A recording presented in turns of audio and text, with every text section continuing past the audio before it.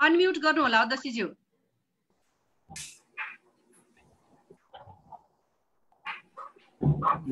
धन्यवाद अनिताजी। यस संवादमा प्रत्यक्ष सहभागी हुनुभएका साथै अन्य विभिन्न सञ्जालहरूको माध्यमबाट हेरिरहनुभएका देश विदेशका सम्पूर्ण दाजुभाइ तथा दिदीबहिनीहरूमा आयोजक संस्था तमिहुल छोजदी गुरुङ राष्ट्रिय परिषदको तर्फबाट यहाँहरूलाई म छ्याजलो टक्र्याउन चाहन्छु। साथै सबैमा स्वागतम सुस्वागतम। तमु जातिको उत्पत्ति र प्राचीन बसाइ सराई विषयक यस संवाद श्रृङ्खलामा हाम्रो अनुरोधलाई स्वीकार गर्नुहुँदै स्रोत व्यक्तिको रूपमा उपस्थित हुनुभएकोमा डाक्टर टेकबहादुर गुरुङज्यूलाई म संस्थाको तर्फबाट हार्दिक धन्यवाद सहित स्वागत गर्न चाहन्छु। साथै कार्यक्रम सञ्चालिका श्री अनिता गुरुङ एवं यस जुम लिङ्कको प्रायोजनकर्ताहरू श्री प्रसाद गुरुङ र तमु समाज इजरायललाई पनि म आभार व्यक्त गर्दछु। आजको यस छैठौँ संवाद श्रृङ्खलामा विद्वान संस्कृतिविदहरू नेपाल आदिवासी जनजाति महासङ्घका मुख्य नेतृत्वहरू विदेश स्थित तमु सङ्घ संस्थाका नेताजीहरू लगायत यहाँ सबैको सक्रिय सहभागिता भएको पाउँदा हामीलाई अझै उत्साह थपिएको छ। तमु समुदायको उत्पत्ति र प्राचीन बसाइसराईको सम्बन्धमा हामीले हाम्रो मौखिक पेयबाट विभिन्न तथ्यहरू सुन्दै आएको सन्दर्भमा डाक्टर गुरुङको विद्यावारिधिको यस शोधपत्र मार्फत अझै वैज्ञानिक तथ्यहरू प्राप्त गर्नेछौँ। साथै ती तथ्यहरूले हामीलाई सत्यको नजिक पुग्ने सुअवसर प्राप्त हुने समेत मैले विश्वास लिएको छु। अन्तमा यस कार्यक्रमलाई लाइभ गरिदिनु हुने सबैमा हार्दिक कृतज्ञता व्यक्त गर्दै यहाँहरू सबैको सक्रिय सहभागिताको लागि संस्थाको तर्फबाट म हार्दिक आभार व्यक्त गर्दछु। साथै हाम्रो भातृ भगिनी संस्थाहरूबाट प्रत्येक बुधबार साँझ छ बजेदेखि सुचारू हुँदै आएको जुम संवादमा पनि यहाँहरूको सक्रिय सहभागिताको लागि अपिल गर्दछु। साथै आगामी बुधबार पच्यु पैँदी चिब श्री यार्जङ गुरुङ र शनिबार संस्कृतिविद डाक्टर जगमान गुरुङ हाम्रो कार्यक्रममा स्रोत व्यक्तिको रूपमा उपस्थित हुन गइरहेको बेहोरा समेत सबैलाई जानकारी गराउन चाहन्छु।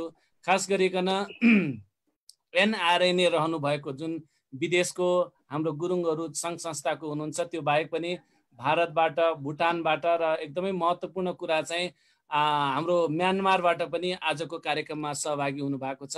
उहाँहरू सबै सबैलाई म हार्दिक स्वागत गर्न चाहन्छु। स्वागतम स्वागतम।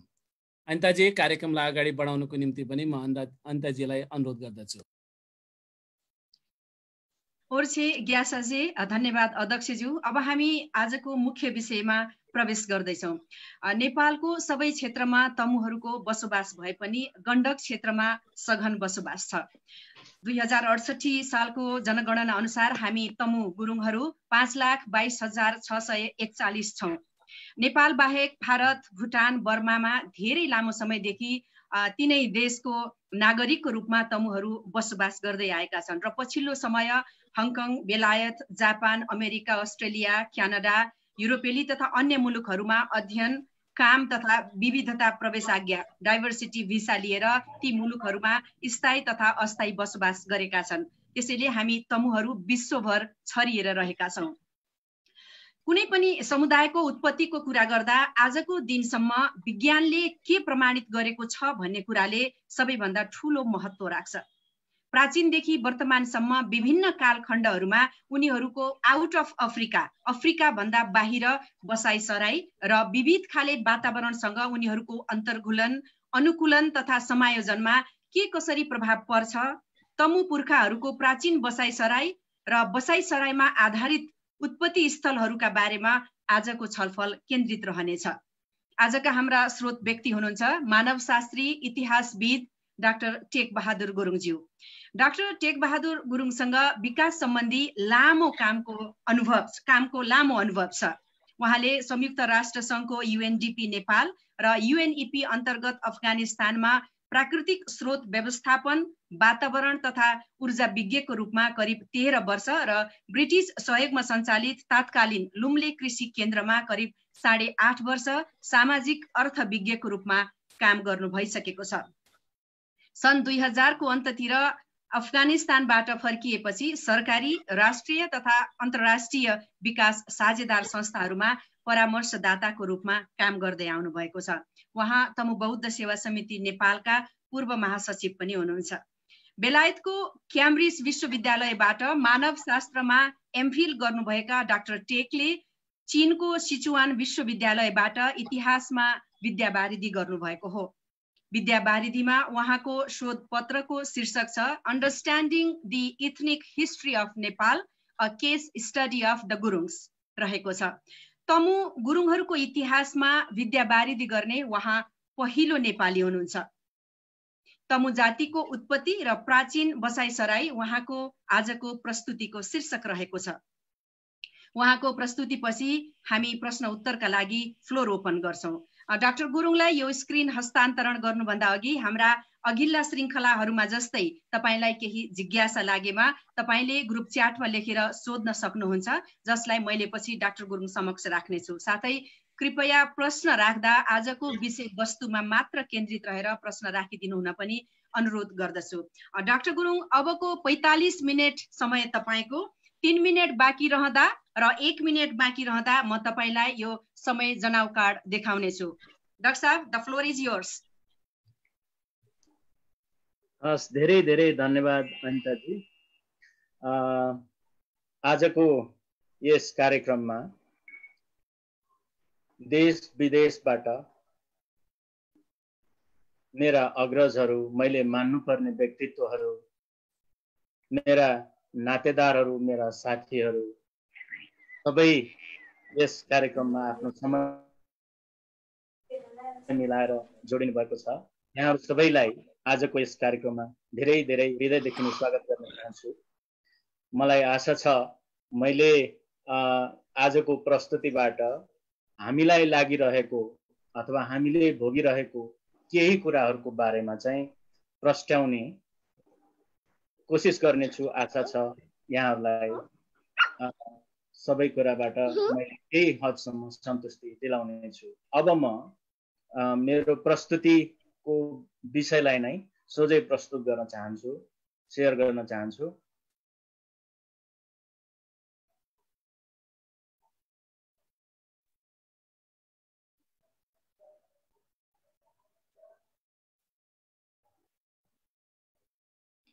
अघि नै अनिता गुरुङजीले भनिसक्नुभयो आजको र यहाँ सबैलाई थाहा भएको कुरा आजको प्रस्तुतिको शीर्षक छ तमु जातिको उत्पत्ति र प्राचीन बसाइ सराई। यस शीर्षकलाई आज मैले चारवटा भागमा राखेर बयान गर्ने अथवा बुझाउने प्रयास गर्नेछु जसमा अघिल्ला दुईवटा भागमा उत्पत्ति भन्नाले के बुझ्ने सभ्यता र इतिहास भन्नाले हामीले के बुझ्ने अनि ती दुईटाको आधारमा हामी तमुहरूको पुर्खाहरूको प्राचीन बसाइ सराईबारे मैले गरेका अध्ययनको आधारमा केही तथ्यहरू प्रमाणहरू र बसाइ सराईमा आधारित उत्पत्ति स्थलहरूको बारेमा यसरी म प्रस्तुत गर्नेछु। अब उत्पत्ति भन्नाले के बुझ्ने भनेर म सुरु गरेँ। यहाँ यो मैले त्यो विषयमा सोझै प्रस्तुत गर्नु अगाडि अलिकति हामीसँग उत्पत्तिको सन्दर्भमा अहिलेको अवस्था धेरै कुराहरू बुझ्न बाँकी रहेको कतै हाम्रो मन मस्तिष्कमा गाँठो परिरहेको गुजल्टिरहेको हो कि जसले गर्दा बुझ्न गाह्रो भएको हो कि जुन कुरा एकदम सरल बनाउनलाई हामी यसरी स्मुथ एउटा चक्र जस्तो गरेर अगाडि बढायौँ भने हुन्छ कि? भन्नको लागि यहाँहरूको एउटा मनस्पटलमा यो चित्रले पनि झकझगाइरहेको छ है भनेर यो चित्र राखेँ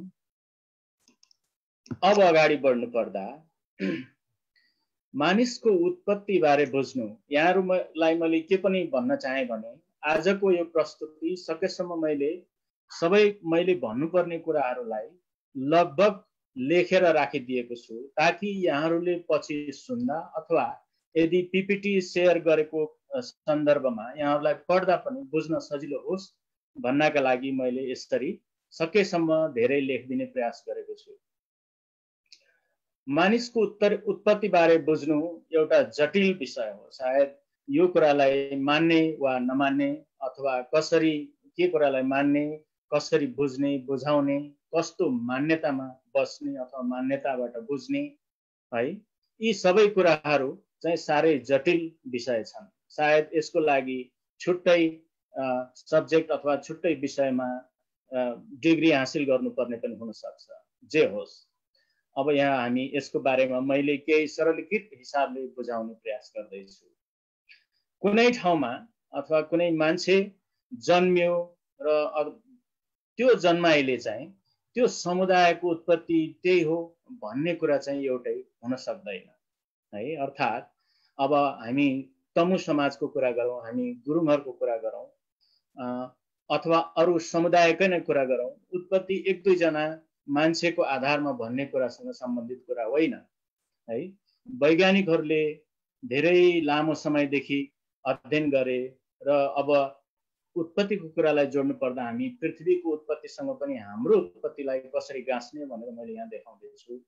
भनिन्छ साढे चार अर्ब वर्ष अगाडि नै पृथ्वीको उत्पत्ति भएको थियो। ज त्यो साढे चार अर्ब वर्षलाई एकछिन सम्झन कल्पना गर्नुहोस् एक दुई तिन चार भनेर एक सेकेन्डमा गन्न सकियो भने त्यही एक दुई तिन चारको हिसाबले गन्दै गन्दै साढे चार अर्ब वर्ष गर्नलाई मात्रै यो समयको अनुसारले हेर्दाखेरि झन्डै छत्तिस वर्ष लाग्छ। गन्नै मात्रै है? त्यसले गर्दाखेरि त्यति लामो समयबाट हामी उत्पत्तिको कुरालाई जोड्दैछौँ यहाँ है? अनि अर्को कुरा हामीले बुझ्नु के पर्छ भने हामीले हाम्रो वरिपरि नातादार छिमेक सबैको हेर्दाखेरि हामी मान्छेहरू लगभग त्यही सय वर्षको हाराहारीतिर जति मात्रै बाँच्छौँ र जुन कुरा एउटा व्यक्तिको लागि भन्ने हो भने निकै लामो समय हुनसक्छ। तर यो पृथ्वीको कुरा मैले अघि भनिहालेँ चार साढे चार अर्ब वर्षको कुरा र मानव समाजको चाहिँ विकासको कुरालाई कुरा गर्ने हो भने यो समय निकै छोटो हो?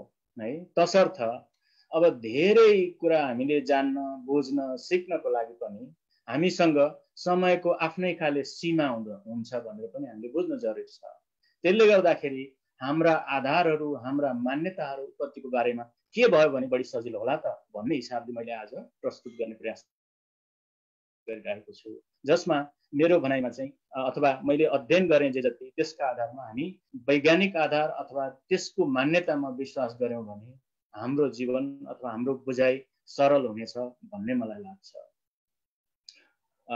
अर्को कुरा अब के हो भने यो उत्पत्तिको क्रममा हामीसँग सबैभन्दा नजिकका हामी जस्तै अरू जनावरहरू पनि थिए होइन? तर हामी दुई खुट्टे जनावर अथवा हामी दुई खुट्टे मान्छे आजको दिनमा हामीलाई एक किसिमले आधुनिक मान्छे भन्ने हो भने त्यो कुराको बारेमा चाहिँ हामीले बुझेर कुरा गर्नुपर्छ।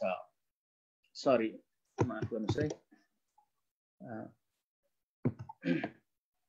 तर अहिलेसम्म है वैज्ञानिकहरूले जे जति प्रमाणित गरेका छन् आजको हामी जस्तो मान्छेको कुरा त्यो कुरा चाहिँ सबै हामी जस्ता मान्छेहरू अफ्रिकाबाट नै उत्पत्ति भएका हुन् भनिन्छ। यसरी हेर्दा मानिसहरूको आजको दिनमा भएका मानिसहरूको उत्पत्ति अफ्रिका हो भन्ने हुन्छ। अनि त्यसपछि वैज्ञानिकहरूले के पनि भनेका छन् भने के पनि पत्ता लगाइसकेका छन् भने कि करिब साठी पैँसठी हजार वर्ष पहिले। अब अघि अरब करोडबाट हुँदै हामी अब साठी पैँसठी हजार वर्षमा आइसक्यौँ। साठी पैँसठी हजार वर्ष पहिले त्यहाँबाट अरू ठाउँतिर भन्नुको अर्थ अफ्रिकाबाट अरू ठाउँतिर चाहिँ जाने काम गरेका रहेछन् है।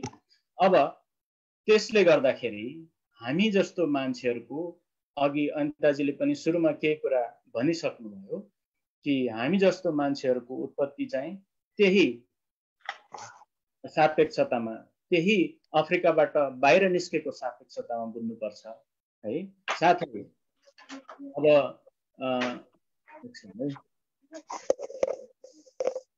बुझ्नुपर्छ साथै विभिन्न यो खाले चाहिँ वातावरणसँग चाहिँ अन्तर्घुलनको कुरा अनुकूलनको कुरा अघि नै भनिसक्नुभयो। त्यसबाट चाहिँ चाहिँ मान्छेहरूको परिवर्तन त्यसैको आधारमा चाहिँ फरक फरक हुन आइरहेको हुन्छ।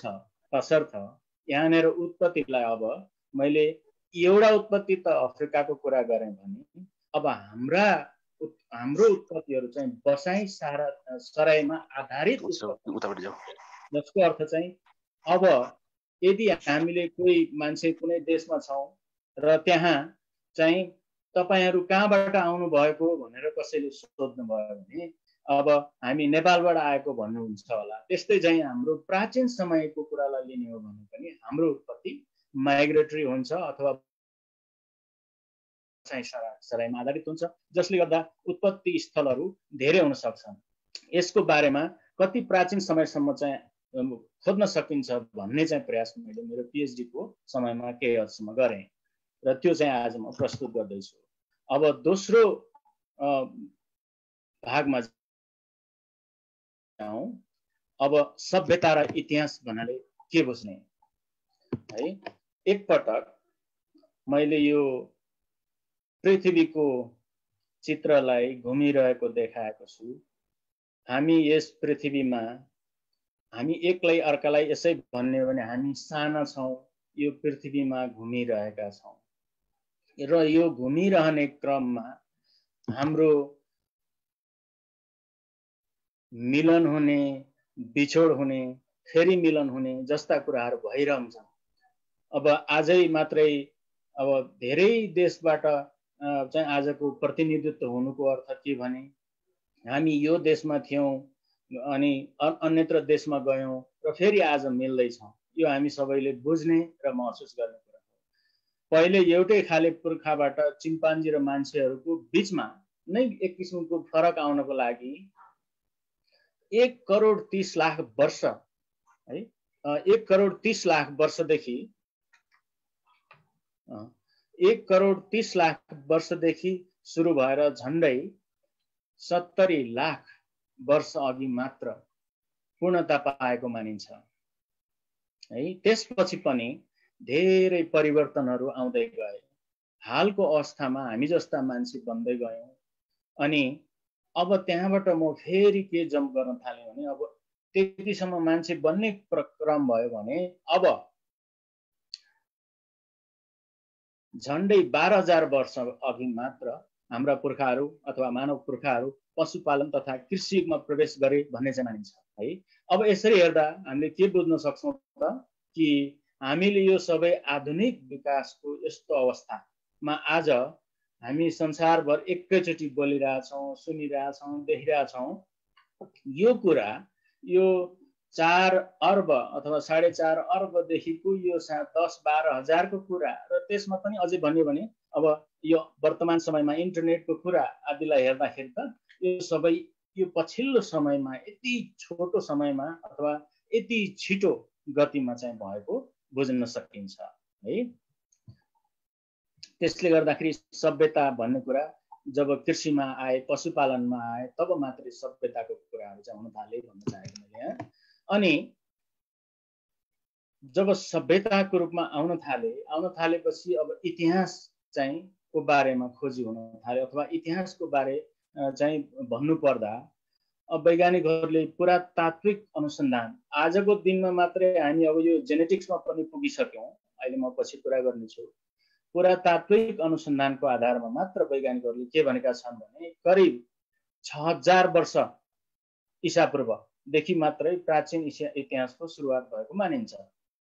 जस्तो कि मेसोपोटामियाको इतिहास सिन्धु उपत्यकाको इतिहास इजिप्टको इतिहास चिनको इतिहास वैदिक भारतको इतिहास र अन्य इतिहासहरू बन्दै गए र कति चाहिँ हराउँदै पनि गए। जस्तो कि मायाको इतिहासको कुरा गर्नुहुन्छ भने माया सभ्यता अहिले खोजीको विषय भइरहेको छ।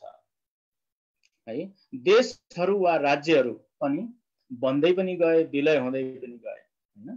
त्यसै क्रममा मान्छेका विभिन्न खाले ठाउँ विशेष स्थान विशेष पहिचानहरू पनि बन्दै गए है? उदाहरणको लागि मैले एउटा दिएको छु। म चिनमै पढेको हुनाले पनि कि चिनको इतिहासमा ऐतिहासिक प्रथम राजवंश भनेको स्या राजवंश हो।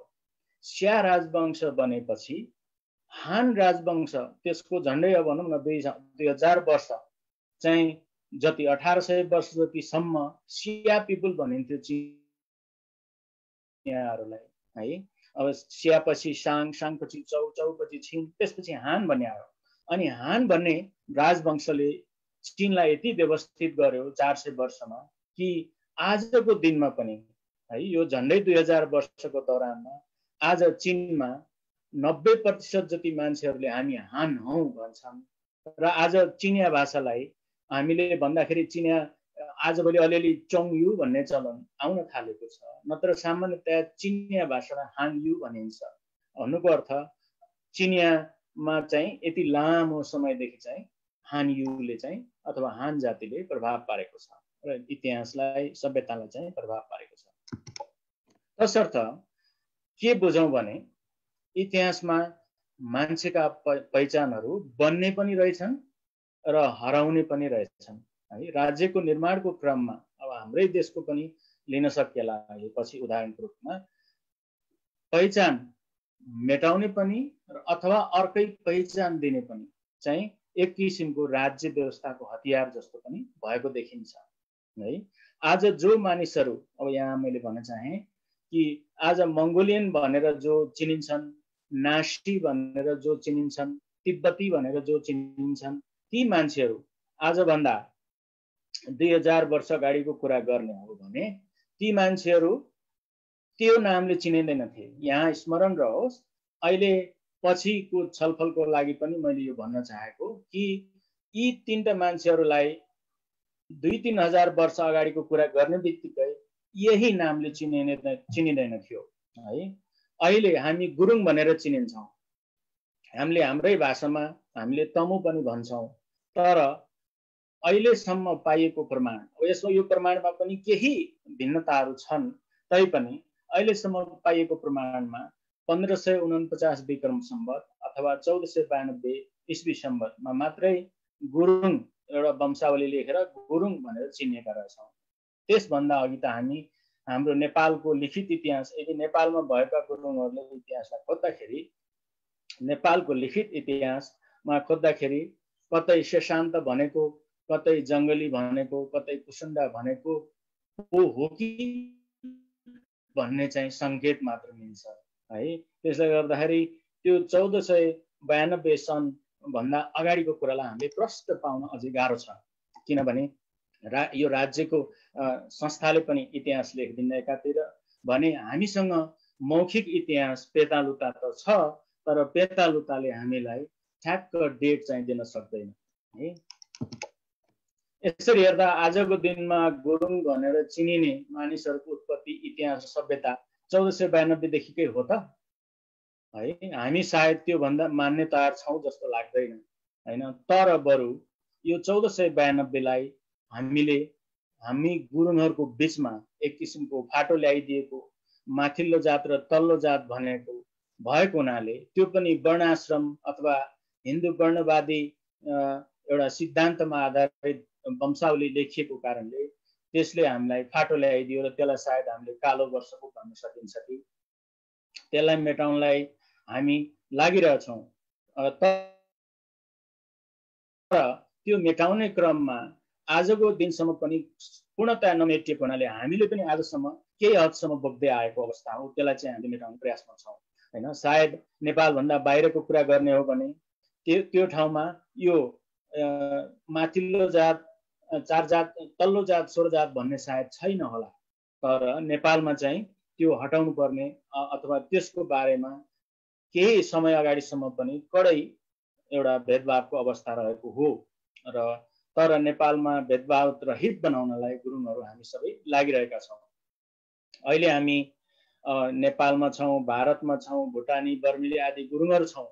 अब यो हामी संसारको जुनसुकै भागमा भएको भए पनि इतिहास थप्दैछौँ भने जुनसुकै भाषमा भागमा चाहिँ अब हामी गुरुङ भनेर चिनेका छौँ। त्यो गुरुङ भनेर चिनेकाहरूको भविष्यमा मानौ हजार वर्षपछि तपाईँहरूको उत्पत्ति थलो कहाँ थियो भन्ने क्रम यदि भयो भने गुरुङहरू नेपालबाट यसरी पास हुनुभएको थियो भन्ने चाहिँ एउटा तथ्य अथवा इतिहास बनेको छ। अब म यी इतिहास सभ्यताको पछि मेरो अध्ययनबाट पाएका प्रमुख पुर्खाहरूको प्राचीन बसाइ बारे नै अब प्रवेश गर्न चाहन्छु।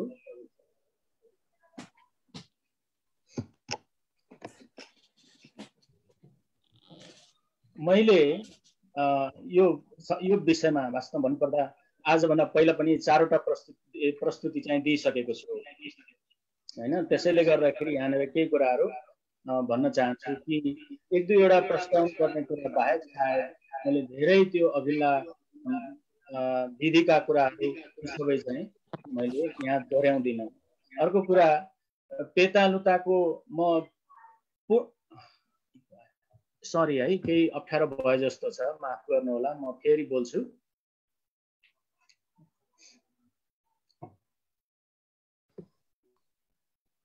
ठिक छ डाक्टर साहब ठिक छ हजुर।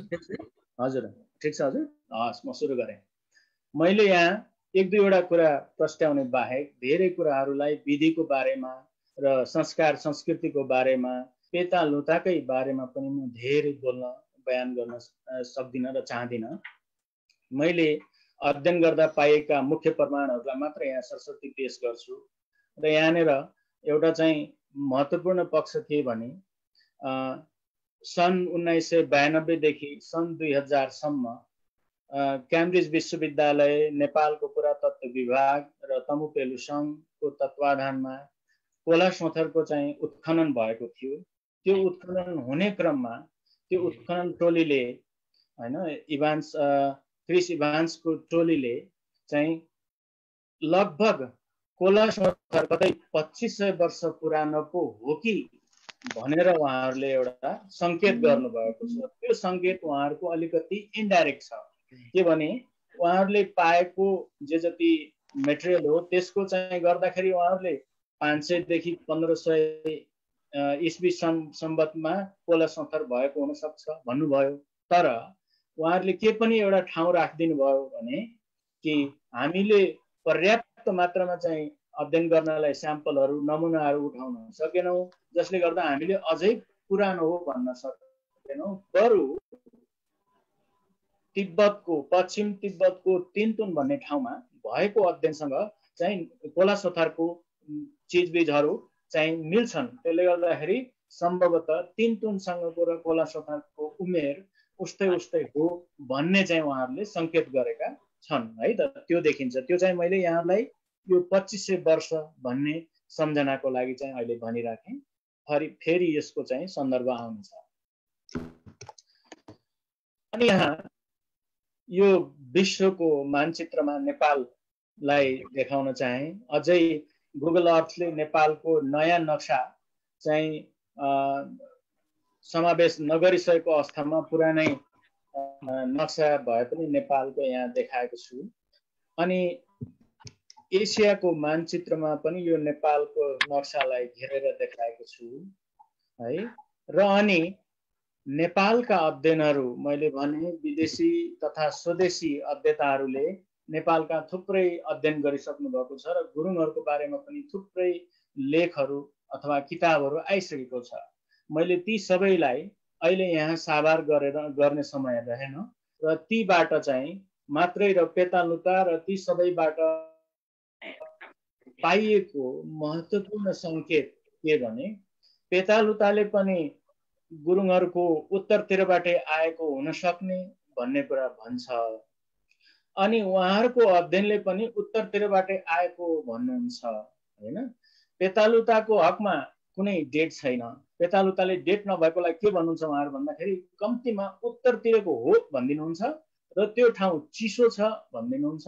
त्यसले गर्दाखेरि सायद उत्तरतिरको हो भन्नको लागि चाहिँ एउटा महत्त्वपूर्ण क्लु मात्रै भयो। भने अरू अध्यताहरूले चाहिँ के भन्नुभयो त भन्दाखेरि केही अध्यताहरूले मङ्गोलियाको पनि नाम टोक्नु भयो है त्यस्ता खाले अड्कलबाजीहरू पनि रहे। तर ती सबैको डाइरेक्ट कनेक्सनको कुरा एउटा डाइरेक्ट हाम्रो सम्बन्धको कुरा हुन बाँकी रह्यो। अनि म चिनमा पढ्न गएपछि यो टिबेटन ई करिडर भन्ने बारेमा चाहिँ प्राचीन बसाइसराईको मार्ग हुन सक्ने बारे एउटा विशाल अध्ययन भएको रहेछ होइन? त्यो अध्ययन चाहिँ पुरातात्विक हिसाबले जलवायुको हिसाबले र अन्य एथनोग्राफीको हिसाबले चाहिँ महत्त्वपूर्ण अध्ययन रहेछ। र यो अध्ययन अथवा यो ठाउँ यो टिबेटन ई करिडर भन्ने ठाउँको बारेमा चाहिँ फेसाथोङ भन्ने सम्भवतः चाइनाको मोडर्न टाइममा प्रथम एन्थ्रोपोलोजिस्ट हो उहाँ मानवशास्त्री। उहाँले उन्नाइस सय अस्सीतिर नै के भनिदिनु भएछ भन्दाखेरि टिबेटन ई कोरिडोरको बारेमा चाहिँ पूर्णतया अध्ययन गर्यो भने चिनमा पाइने सबै अल्पसङ्ख्यक अल्पसङ्ख्यक जातिहरू र त्योसँग सम्बन्धित विभिन्न जातिहरू हुन सक्छन्। ती जातिहरूको चाहिँ पूर्ण बयान गर्न सकिनेछ भन्ने चाहिँ एक किसिमको भविष्यवाणी जस्तो उहाँले भनिदिनु भएछ त्यस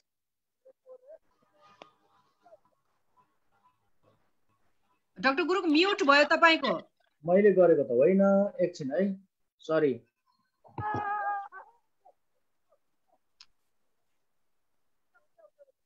मैले अनम्युट भयो होइन त सुनिन्छ? ठिक छ ठिक छ। अहिले ठिक छ हजुर। ठिक छ। मैले म्युट गरेको होइन सरी है। अब त्यसपछि त्यही प्रोफेसर फेसाथोङको एकजना शिक्षक नै सायद हुनुहुन्थ्यो। र यो प्रोफेसर सुसो भन्ने अर्को प्रोफेसरले चाहिँ लामो समयसम्म अध्ययन गरेर यो यो क्षेत्रको चाहिँ अध्ययन गरेर अल्पसङ्ख्यक जातिहरूको चाहिँ त्यहाँ अध्ययन गरेर त्यहाँको सम्पूर्ण व्याख्या गर्नलाई चाहिँ उहाँले प्रयास गर्नुभयो। जसको प्रयास अनुसार जसमा मैले भने पुरातात्विक जलवायु सामाजिक भाषागत कल्चरल सबै कुराहरू सहितको उहाँले चाहिँ एउटा अध्ययन गर्नुभयो। त्यो अध्ययनबाट उहाँले छ हजारदेखि पाँच हजार पाँच इसा पूर्व भन्नुको अर्थ आठ हजार वर्ष अगाडि नै कोकुनो ताल अथवा चाइनिज भाषामा चाहिँ चिनाई ताल भन्नुहुन्छ। र त्यो चाहिँ वाङ्गो नदीको उत्तरी भेग अथवा शिरको भेग पर्छ है? त्यो त्यो भेगदेखि मान्छेहरूले भनौँ न बसाइ सराई दक्षिणतर्फ बसाइ सराई गर्न थालेछन्। त्यो बसाइ सराईको क्रममा करिब करिब चार हजार वर्ष इसापूर्व चाहिँ पश्चिम दक्षिण पश्चिम चिन आज चाहिँ त्यसलाई युनान भनिन्छ। त्यो भेगमा चाहिँ उहाँहरू ती पुर्खाहरू चाहिँ पुगिसकेछन्। र त्यो पनि उहाँले डाटा दिनुभयो। यहाँले सम्झना गर्नु होला यो आठ हजार वर्ष अघिको कुरा चार हजार वर्ष अघिको छ हजार वर्ष अघिको कुरा। त्यसै गरी उहाँले अर्को कुरा के पनि पत्ता लगाउनु भएको छ भन्दा मान्छेहरू तिब्बतको पठारतिर पनि गएका रहेछन्। त्यही जाने क्रममा सातौँ शताब्दीमा पुग्दाखेरि है सङचङ गम्पोले चाहिँ शक्ति सञ्चय गरेर तिब्बतको पठारबाट पूर्वतर्फ भन्नाले चिनको प्राचीन भागतिर पनि विस्तार गर्ने काम गर्न थालेछन्। है त्यसरी हेर्दाखेरि सातौँ शताब्दीमा चाहिँ चिनमा शक्तिशाली राष्ट्र सरी तिब्बतमा शक्तिशाली राज्य चाहिँ खडा भइसकेको देखिन्छ। अनि तेह्रौँ शताब्दीको भनौँ न बाह्र सय अठहत्तरदेखि तेह्र सय अडसठीसम्मको कुरा गर्नुपर्दा बाह्र सय अठहत्तरतिर चाहिँ मङ्गोलियनहरू तात्कालिनमा चङ्गेज खानका र चङ्गेज खानका सन्तानहरू सन्ततिहरू अनि दक्षिणतर्फ आएर यही तिब्बतन ई कोरिडोरको एरियातिर पनि झरेछन् र छिट्टो उनीहरूले त्यो एरिया कब्जा गरे र अनि छिट्टै नै युवान डाइनेस्टी चाइनामा चाहिँ सिर्जना गरे र करिब दुई वर्ष दुई सय वर्ष जति राज्य गरे। अनि अर्को कुरा त्यसपछि जब युएन डाइनेस्टीको पतन भयो त्यो पतन भइसकेपछि करिब दुईवटा डाइनेस्टी छिङ डाइनेस्टी र मिङ डाइनेस्टी त्यो समयमा मु भन्ने मान्छेहरू जो टिबेटन इ युनानको भाग आदिबाट मासतिर जाने उनीहरूको चाहिँ आफ्नो प्रभावलाई माथितिर लगेर अरू क्षेत्रमा पनि विस्तार गर्ने भने हान मान्छेहरू अहिलेको चाइनाको दक्षिण पश्चिम क्षेत्रमा चाहिँ हानहरूको पोरिङ भन्ने शब्द युज गर्नुभएको छ उहाँहरूले। भन्नुको मतलब एकदम व्यापक मात्रामा हानको चाहिँ यतापट्टि बसाइ सराइ भएछ। यो सबै तथ्यहरूलाई हेरिसकेपछि मलाई के लाग्यो भन्दा यो एसियाको मानचित्रमा उहाँहरूले यसरी त्रिकोण बनाइसक्नु भएको थिएन तर भनाइमा भनिसक्नु भएको थियो। एसियाको यो मानचित्रमा कोकोनर ताल अथवा छिङ्गाई तालदेखि तलतिर झर्दै गरेको दक्षिण पश्चिमी चिनतिर गएको अनि तिब्बततिर गएको र यसरी चाहिँ विभिन्न दिशामा चाहिँ मान्छेहरूको प्राचीन मानवहरूको बसाइसराइ भइरहेको बारेमा चाहिँ एउटा त्रिकोणात्मक मुभमेन्टको चाहिँ कल्पना गर्न सकियो र यो मैले परिकल्पना गरेँ र अनि उहाँहरूलाई देखाएँ। यो हुन सक्छ कि सक्दैन भनेर देखाएँ र अनि हरेक यो जुन बोल्ड एरिया छ दक्षिण पश्चिमी चिन होस् अथवा कोकुनोर होस् अथवा टिबेटको लोखा लासा क्षेत्रको कुरा हो योबाट मैले एरो देखाएको छु। विभिन्न डाइरेक्सनमा चाहिँ मान्छेहरू चाहिँ बसाइसराई अथवा मुभ गर्दै किनभने तात्कालीन समयमा आजको जस्तो कडा बोर्डर कन्ट्रोल थिएन होइन? सीमाको एकदमै कडा बोर्डर कन्ट्रोल हुन थालेको त दोस्रो विश्व युद्धपछि मात्रै एकदम हुन थालेको त्योभन्दा पहिला त धेरै खुला बोर्डरहरू हुने गर्थे अनि त्यसले गर्दाखेरि ती क्षेत्रमा चाहिँ मान्छेहरू गयो होला भन्न सकिने चाहिँ एउटा टिबेटन ई कोरिडरको चाहिँ एउटा परिकल्पना चाहिँ गर्न सकियो। तर अब यो सबै अध्ययनले अझै पनि केलाई डाइरेक्ट हेर्न सकेन भने नेपालमा भएका सबै अध्ययनहरू र यो अध्ययनलाई सोझै एकदमै नेपालमै आएका हुन् है भन्न सकिने अझै पनि देखिएन। यो अझै पनि नदेखिएपछि मैले अब के सोचेँ भन्दा यो कसरी यी मान्छेहरू यता आएका हुन् त? अथवा यी मान्छेहरूसँग हाम्रो कतै सम्बन्ध छ कि छैन त? भन्नका खातिर अनि बल्ल अनि डिएनएको टेस्टिङको कुरा चाहिँ हुन गयो है? अनि अनि अब मैले यो डिएनएको बारेमा केही भन्नु जरुरी सम्झन्छु। डिएनए के हो? है? अनि यो कसरी चाहिँ हामी पुर्खाबाट हामीमा सर्दै सर्दै आउँछ? र हाम्रो पुर्खाहरूलाई चाहिँ यो डिएनए थ्रु हामीले कसरी चाहिँ देख्न सक्छौँ र त्यसको चाहिँ नतिजा के छ भनेर मैले केही प्रश्न प्रयास गर्दैछु है त? यहाँनिर मैले यो चित्र सायद यो दुईवटा फोटोमा देखाइएका चित्रहरू सायद यहाँलाई फेमिलियर लाग्यो होला होइन? अहिले हामीले यो कोरोना भाइरसको बारेमा निकै अब यति बेला हामी कोरोना भाइरसकै कारणले यसरी चाहिँ संसारभरि जोडिँदैछौँ। कोरोना भाइरसको बारेमा चाहिँ यस्ता चित्रहरू यहाँहरूले सामाजिक सञ्जाल अथवा विभिन्न कुरामा चाहिँ देखिराख्नु भएको छ। तर मैले यो किन प्रयोग गरेको भन्दा हाम्रो आँखाले यो चाहिँ हामीले देख्न सक्दैनौँ। यसलाई सूक्ष्म दर्शक यन्त्रले अथवा एकदम माइक्रोस्कोपले हेरेर यो विशाल चित्र देखेका हौँ है।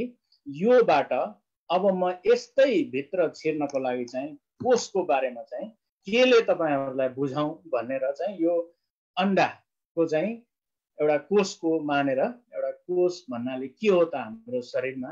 र त्यो कोषभित्र डिएनए हुन्छ भन्नको लागि चाहिँ मैले यो कोषको चाहिँ चित्र देखाउन चाहेँ। अब यो कोष यदि यो अन्डालाई यदि कोष मान्नुभयो भने यो कोषको विभिन्न भागहरू छन्। जसमध्ये है जुन पहेँलो भाग छ यो कोषको केन्द्रबिन्दु हो। है। त्यो कोषको केन्द्रबिन्दुलाई अङ्ग्रेजीमा न्युक्लियस भनिन्छ। त्यहाँ क्रोमोजोम पाइन्छ। अब हेर्नुहोस् है कोष भनेको यति आँखाले हामी देख्न सक्दैनौँ। कोष कोष मिलेर हामी ठुलो शरीरका मान्छे बन्छौँ है। त्यो कोषभित्र पनि अझै सानो चिज छ न्युक्लियस। त्यो न्युक्लियसभित्र पनि क्रोमोजम छ र त्यो क्रोमोजमभित्र बल्ल डिएनए छ भनेर मैले अब त्यो सानो कुरामा यहाँहरूलाई लगेर जाँदैछु है। अनि यो क्रोमोजमहरू चाहिँ तेइस जोडी हुन्छ है? तेइस जोडी हुनेमा है?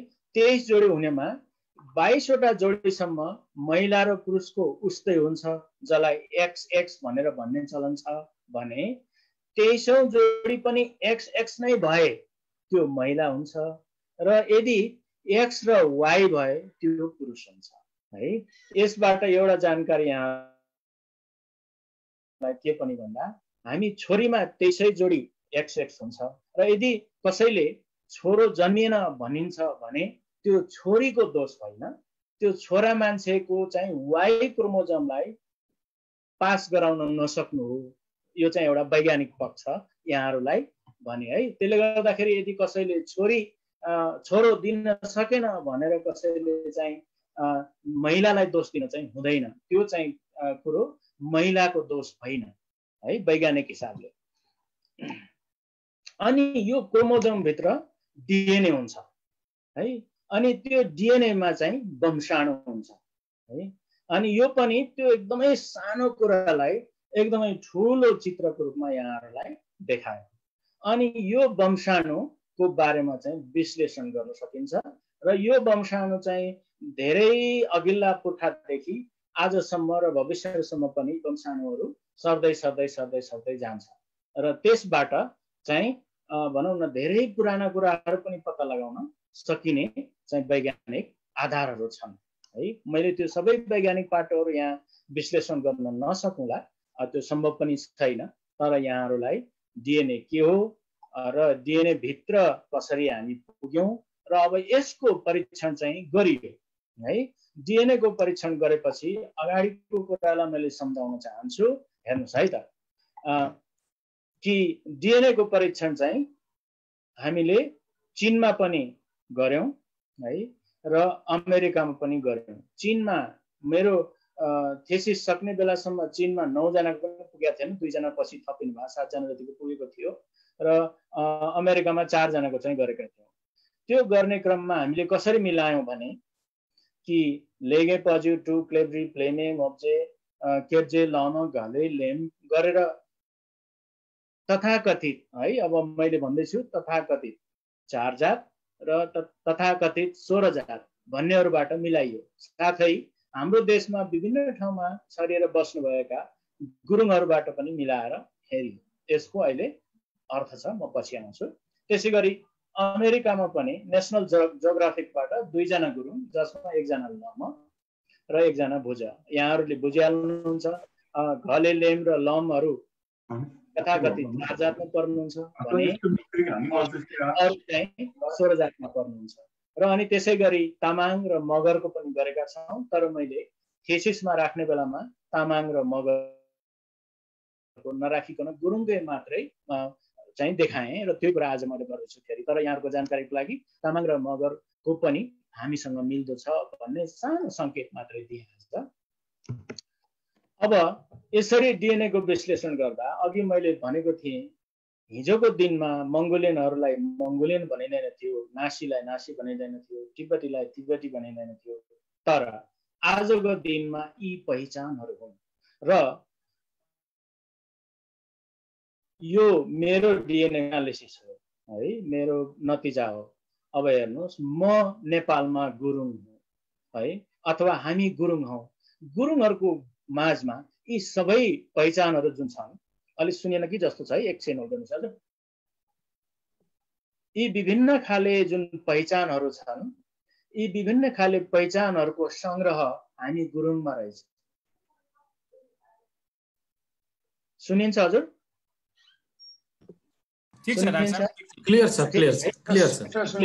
भन्नुभयो यी विभिन्न खाले पहिचानहरू आजको दिनमा हामीसँग छ र त्यो पहिचान को आधारमा चाहिँ हामी ठाउँ ठाउँमा बेग्लै खाले मान्छे छौँ भने यहाँ हामी गुरुङ छौँ अथवा यति बेला यो जुन नतिजा छ यो मेरो नतिजा हो म गुरुङमा मङ्गोलियन छ नासी छ तिब्बती छ र अन्यहरू पनि छन् है?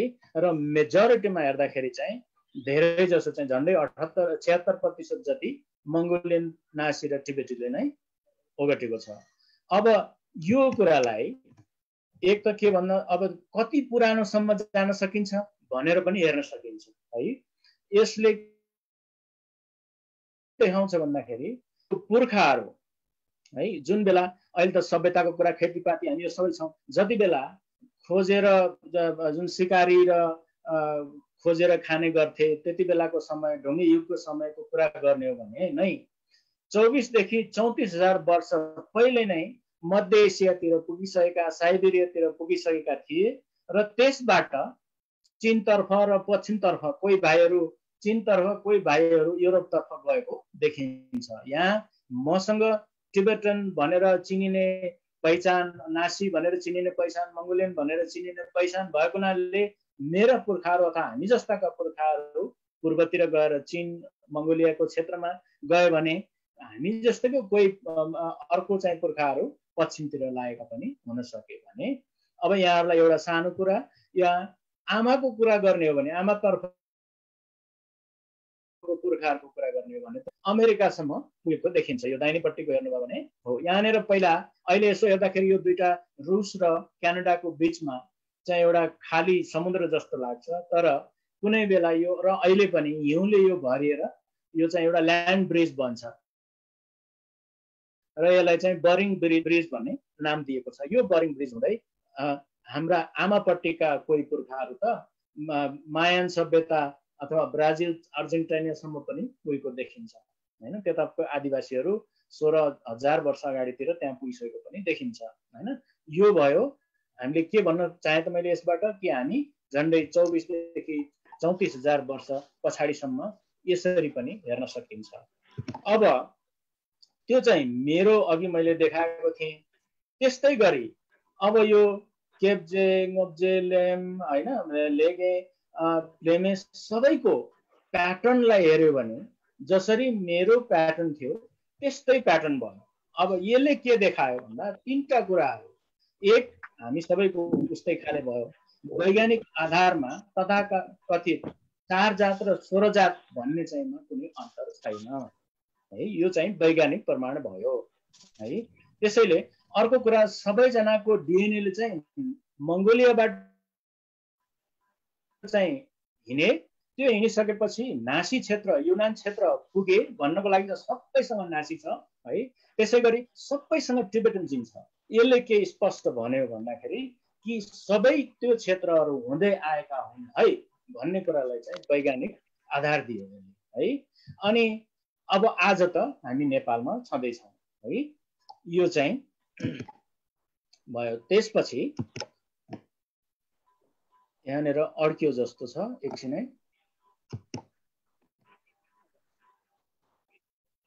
सुनिन्छ हजुर? सुनिया छ डाक्टर साहब सुनिया छ। यो अलिकति यहाँ मुभ गरेन त्यही भएर। ल अनि यहाँनिर मैले के देखाउन चाहेँ भने अहिले चिनमा मङ्गोलियनहरू पनि छन् र अरू पनि सबै छन् त्यो हिसाबले चिनमा गरेको टेस्टले के देखायो भने कि हेर्नुहोस् त सबभन्दा कम्ती भनेको पचहत्तर पोइन्ट पचासीदेखि अठासी पोइन्ट पचासीसम्म चाहिँ प्रतिशत जिन अथवा डिएनए चाहिँ हामी चिनमा भएका मान्छेहरूसँग रहेछ। भन्नुको अर्थ यसले स्पष्ट रूपमा हामी गुरुङहरूले तीसँग भएका मान्छेहरूसँग चाहिँ सम्बन्धित भयौँ भने सायद कालान्तरमा कतै हाम्रो मिश्रण भएको हुनसक्छ जसअनुसार चाहिँ दक्षिण एसियाको पनि केही छ हामीसँग र अन्य मुल्का पनि केही छ है यो पनि भयो। अनि अब यहाँनिर के भयो अहिलेसम्म भन्दा यसरी आए भन्ने कुराको बारेमा चाहिँ यी सबैबाट देखियो। तर एउटा प्राचीन पुरातात्विक अध्ययनबाट निकालिएको प्राचीन डिएनए मार्क अल्डेनडर्फर भन्ने प्रोफेसर अथवा वैज्ञानिकले चाहिँ नेसनल जोग्राफिकमा उहाँको चाहिँ यो अनुसन्धानलाई चाहिँ प्रकाशित गरिएको छ। उहाँले चाहिँ मुस्ताङमा चाहिँ मुस्ताङको मेब्राक मम्मीबाट निकालिएको दाँतको डिएनए टेस्ट गर्नुभयो। त्यो डिएनए टेस्ट कोसँग सम्बन्धित छ भनेर उहाँले प्रमाणित गर्दाखेरि उहाँले के भन्नुभयो? त्यो दाँत चाहिँ इन्डिया अर्थात् इन्डियामा हुने विभिन्न खाले खस आर्यन इन्डो आर्यन मान्छेहरूसँगको डिन जिनसँग अथवा डिएनएसँग मिलेन जबकि east Asian Han Tibetan Sherpa आदि जो माउन्ट एभरेस्टको नजिकै बस्नुहुन्छ उहाँहरूसँग त्यो दाँतको डिएनए मिल्यो। त्यसले चाहिँ त्यो टिबेटन प्लाटोमा पहिलोचोटि कसले चाहिँ गएर बस्ती बसाल्यो भन्दाखेरि उतैतिरबाट इस्ट एसियातिरबाट आउने मान्छेहरूले नै बसाल्यो र त्यो दाँत कहाँ पाइयो भन्दा मुस्ताङमा पाइयो। र हामी अहिले कहाँ छौँ त भन्दा नेपालको हिमालभन्दा दक्षिणको भागमा छौँ। केही चाहिँ हामी हिमालभन्दा माथिल्लो भागमा पनि छौँ जस्तो भना होइन? तर समग्रमा के भयो त भन्दा मुस्ताङ यसरी हेर्दाखेरि एउटा बाटोको रूपमा जुन अब यहाँ एउटा कुरा सम्झौँ कि हामी तिन हजार वर्ष अगाडि। अघि नै मैले भनिसकेँ चौध सय बयानब्बे एडीभन्दा अगाडि हामी गुरुङै भनिन्थेनौँ त्यहाँ होइन? भन्नुको मतलब तिन हजार वर्ष अगाडि त सम्भव थिएन। भनेपछि तिन हजार वर्ष अगाडि यो डिएनए पाउनुको अर्थ चाहिँ हाम्रो कुनै पुर्खाहरू त्यो बा बाटोबाट भएर हामी जस्तै हुने मान्छेहरूको पुर्खाहरू टिबेटो बर्मन अहिले जो भन्छौँ ती पुर्खाहरू मुस्ताङबाट एउटा बाटो भन्दैछु है। एउटा बाटो चाहिँ आएको हुन सक्ने यसले प्रमाण दियो है। यो चाहिँ त्यही दाँत र त्यो टाउको पुरानो पुरातत्वले चाहिँ निकालेको वस्तु है अब यसरी हेर्दाखेरि अब मैले के के भने कि हामीसँग आठ हजार वर्षको चाहिँ सभ्यताका कुराहरू पनि आए इतिहासको कुरा पनि आए चौतिस हजार वर्षसम्मको हाम्रो डिएनएको प्राचीन पुर्खाहरूको कुरा पनि आयो र मुस्ताङमा हामीसँग चाहिँ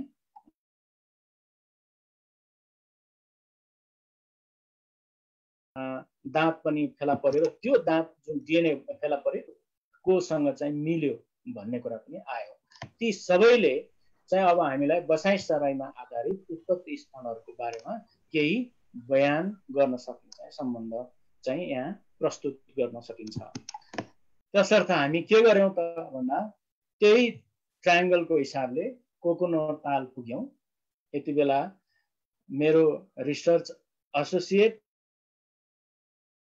र आजको सहजकर्ता र मेरो जीवनको यो उन्तिस वर्षभन्दा बढीको सहजकर्ता अनिता गुरुङजीले म ती ट्राइङ्गलको तिनैवटा ठाउँहरू गयौँ। यो कोकोनट ताल अथवा चाहिँ छिङाई लेकमा चाहिँ हामी पुग्यौँ। र यदि यो ठाउँबाट चाहिँ हाम्रा हस् म सिद्धिन्छ यो ठाउँबाट चाहिँ आएको भए त्यो ठाउँका ठाउँमा गएर हामीले छोटो चाहिँ सानो चाहिँ पूजा पनि आफ्नै हिसाबले त्यहीँको ढुङ्गा माटो फुल लिएर चाहिँ तालमा गऱ्यौँ। अनि त्यही ठाउँमाका मान्छेहरू टु भन्ने मान्छेहरूलाई हामीले फेला पार्यौँ टु भन्ने मान्छेहरूसँग चाहिँ हामीले लियौँ। टिबेटन भन्ने मान्छेहरूसँग पनि भाषा संस्कृति आदिको बारेमा केही जानकारी लियौँ। त्यसै गरी हामी नासी क्षेत्रमा गयौँ। बर्नर्ड पिनेले गुरुङको बारेमा लेखेको किताबमा नासीमा नखी किङडम भन्ने जुन भनिएको छ जेएफ रकको गाउँमा जेएफ रक जहाँ बसेर अध्ययन अनुसन्धान गरेका थिए झन्डै सय वर्ष अगाडि त्यो ठाउँमा चाहिँ हामी गयौँ र त्यहाँका मान्छेहरूले पनि हामी उतै म मङ्गोलिया उतै कोकोनोर तालतिरबाट आएका हौँ भन्छन् है।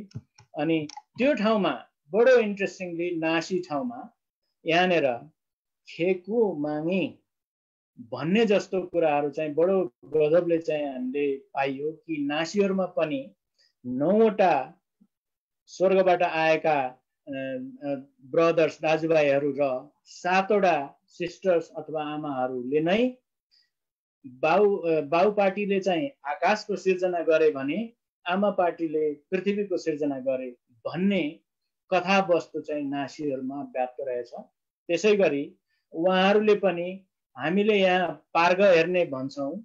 त्यस्तै चाहिँ त्यहाँ पनि पाग भन्ने नै शब्द प्रयोग गर्नुहुने रहेछ र त्यो लोहको जुन चक्र छ त्यो चक्र चाहिँ उहाँहरूले चाहिँ प्रयोग गर्नुहुने रहेछ जहाँ चाहिँ यसको कथा बडा अस्ति पनि मैले भने बडा इन्ट्रेस्टिङ कथा छ कि भगवान्सँगबाट लिएर आउँदाखेरि विभिन्न खाले जोखाना हेर्ने जुन तरिकाहरू हो तरिकाहरू लिएर आउँदाखेरि मान्छेले हातुर गरेर खोल्दाखेरि हावाले उडाइदियो। हावाले उडाइदिएर त्यो तिन सय साठीवटा जुन विधिहरू छन् ती तिन सय साठीवटा विधिलाई चाहिँ यो भ्यागुताले भ्यागुताले खाइदिएको हुनाले त्यो भ्यागुतालाई मारेपछि त्यसबाट चाहिँ निकालेर अनि यो बाह्रवटा दिशा तिन सय साठीवटा चाहिँ जोखाना चाहिँ निकालेर हेर्ने चलन भन्ने कुराको किम्बदन्ती अथवा कथा चाहिँ नासीहरूमा पनि पाइयो। त्यसै गरी हामी अनि यो चाहिँ जोखाना हेर्नेको एउटा तरिका रहेछ जसमा हाम्रो यहाँ मुटु कलेजो हेरे जस्तै त्यहाँ चाहिँ कुखुराको टाउको चाहिँ त्यसरी पाकेको टाउकोबाट झिकेर हड्डी अनि त्यो ठोड अनि त्यसको जिब्रो आदि इत्यादिबाट चाहिँ हेर्ने चलन। त्यसै गरी हाम्रो आँखा हेरे जस्तै ढुङ्गाको त्यो गुच्चो गुच्चोबाट चाहिँ हेर्ने चलन र कौडाले पनि गर्ने चलन यो सबै नासीहरूमा चाहिँ पाइयो है। अनि तिब्बतमा पनि हामी गयौँ। यो चाहिँ लोखा भन्ने ठाउँ हो।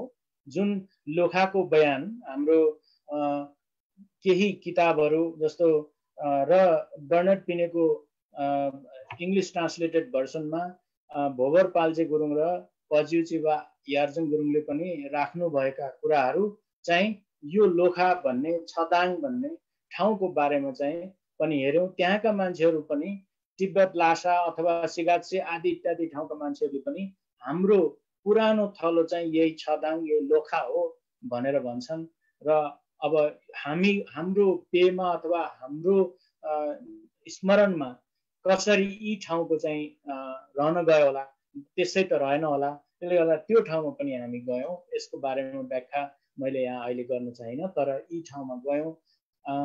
र यी सबैले चाहिँ हामीलाई एउटा कन्फिडेन्स पनि दियो कि यो अध्ययन चाहिँ सायद सही दिशातर्फ गएको हुनसक्छ। यी सबैबाट के पाइयो भन्दाखेरि अब यो माथिको भाग चाहिँ कोकोनोर ताल यति ठुलो निलो ताल अनि यो एरिया चाहिँ युनानको एरिया यो रातो एरिया।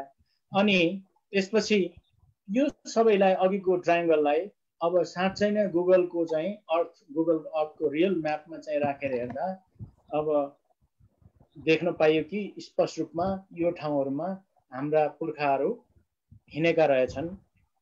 र अर्को यो मुस्ताङमा निकालिएको प्राचीन डिएनएले चाहिँ के देखायो भन्दाखेरि हाम्रो त्यहाँबाट एउटा बाटो रहेछ। यी सबैबाट के भयो भन्दाखेरि हाम्रो चाहिँ मुस्ताङको आएको यो एउटा ठुलो गोड चाहिँ मलाई लाग्यो कि यो ठाउँबाट चाहिँ आएको हुनसक्छ। किन भन्दा सबैभन्दा सहज बाटो यो हिमालयन क्षेत्रमा चाहिँ सबैभन्दा सहज बाटो चाहिँ मुस्ताङको गोर्ज रहेछ है। अनि र त्यसपछि यी सबैबाट बसाइ सराईमा आधारित उत्पत्ति स्थलहरूको बारेमा चाहिँ यसरी सरसर्ती सरल रेखामा चाहिँ राख्न सकियो है? अब के भन्न सकिन्छ भन्दा कोकोनोर ताल अथवा छिङ्गाई तालमा झन्डै आठ हजार वर्ष चाहिँ अगाडि हाम्रो एउटा उत्पत्ति स्थल रह्यो होइन? करिब इसापूर्व चार हजार वर्ष अगाडि अथवा छ हजार वर्ष अगाडि युनान क्षेत्र अथवा दक्षिण पश्चिम चिनमा रह्यो र करिब दुई हजारदेखि तिन हजार वर्षको दौरानमा चाहिँ करिब यो लोखा क्षेत्रमा चाहिँ रह्यो। होइन? यी सबै के भन्न सकिन्छ भन्दाखेरि वर्तमान अवस्थामा नेपालको सीमाभन्दा बाहिर रहेका ठाउँहरू अर्थात् बसाइसराईको हिसाबले हेर्ने हो भने हाम्रा यी विभिन्न उत्पत्ति स्थलहरू भन्न सकिन्छ। जस्तो भोलिका दिनमा चाहिँ नेपाल चाहिँ भोलिका हाम्रा सन्ततिको लागि युकेका गुरुङ सन्ततिहरूले नेपाल हाम्रो उत्पत्ति स्थल एउटा बसाइसराईको उत्पत्ति स्थल हो भन्न सक्नुहुन्छ। त्यस्तै चाहिँ यी हाम्रो बोर्डरभन्दा बाहिरको उत्पत्ति स्थल अनि प्रमाणमा कम्तीमा पनि तिन हजार वर्ष अगाडि मुस्ताङ र पच्चिस सय वर्ष जति झन्डै खोला सौथरमा गुरुङहरू आएको अवस्था बुझिन्छ। यी सबबाट अन्तमा म के भन्न चाहेँ भन्दाखेरि कम्तीमा पनि हाम्रो इतिहास हामी आठ हजार वर्षसम्म सभ्यताको कुराले हेर्दाखेरि आठ हजार वर्ष अगाडिसम्म चाहिँ हामी पुग्न सक्छौँ होइन? र अहिलेको पहिचान बोकेको चाहिँ अहिले चाहिँ मङ्गोलियन भनेको हुनाले हामी आठ हजार वर्षको हिसाबले कुरा गर्ने भने हामी सुरुमा मङ्गोलियनहरू नै हौँ र पाँच सय अठाइस वर्ष अगाडि मात्रै भनेको चौध सय बयानब्बे एडी अथवा चाहिँ पन्ध्र सय उनपचास विक्रम सम्बन्धमा मात्रै त्यो तथाकथित झुठो वंशावलीले हामीलाई उपल्लो र तल्लो जात बनाउने गरी बनेको बेलादेखि हाम्रो शब्द चाहिँ गुरुङ भएर आयो र मैले देखाएँ हाम्रो अध्ययनले यस अध्ययनले चाहिँ त्यो झुठो चार जात स्वर जात भन्ने कुरालाई पनि वैज्ञानिक हिसाबले चाहिँ गलत साबित गरिदियो। यसबाट मलाई आशा छ हाम्रो गुरुङ एकतामा एउटा बल पुग्नेछ। तिन हजार वर्ष अघि नै नेपाल आइपुगेका हाम्रा पुर्खाहरू न हिन्दू थिए न बौद्ध मार्गी थिए। आदि केही थिएनन्। अब त्यसको बारेमा अहिलेसम्मको अनुमान चाहिँ हाम्रा प्रकृति पूजक थिए भनिन्छ। सायद त्यही नै साँचो कुरा हो। भने तिन हजार वर्ष अगाडिसम्मको कुरा गर्दाखेरि हामी गुरुङ मगर राई लिम्बू आदि थकाली भनेर हामी सायद छुट्टिएकै थिएनौँ होला। तसर्थ ती सबैहरूलाई यो तिन हजार वर्ष अगाडि अथवा आठ हजार वर्ष अगाडिका जुन मङ्गोलियन भन्नेहरू अब अरू अध्ययनको क्षेत्र खुलेको छ त्यसबाट सायद हाम्रा मङ्गोलियन महावंश अहिले भन्ने पनि प्रचलनमा आइरहेको देखिन्छ। सायद त्यस अनुसार चाहिँ हामी सबैको चाहिँ हाम्रो उत्पत्ति र हाम्रो चाहिँ पुर्खाहरू मेरो भनाइलाई यहीँ टुङ्ग्याउँछु। ओर्छे ग्यासाजे र ध्यान दिएर सुनिदिनु भएकोमा धेरै धेरै धन्यवाद। तम्बु हिल सौजदी गुरुङ राष्ट्रिय परिषदले मलाई यस्तो अवसर दिनुभयो र मैले संसारभरिका आफ्ना बन्धुहरूसँग चाहिँ आफ्नो कुरा राख्न पाएँ। धेरै धेरै धन्यवाद। नमस्कार। धेरै धेरै धन्यवाद। ओर्से ग्यासाजे डक्टर टेक गुरुङज्यूलाई। हामी तमुहरू सबैको र धेरैभन्दा धेरै सरोकार वा चासोको विषयलाई विस्तृत रूपमा वैज्ञानिक तथ्य र आधार सहित व्याख्या गरिदिनु भएकोमा डाक्टर साहबलाई धेरै धेरै धन्यवाद।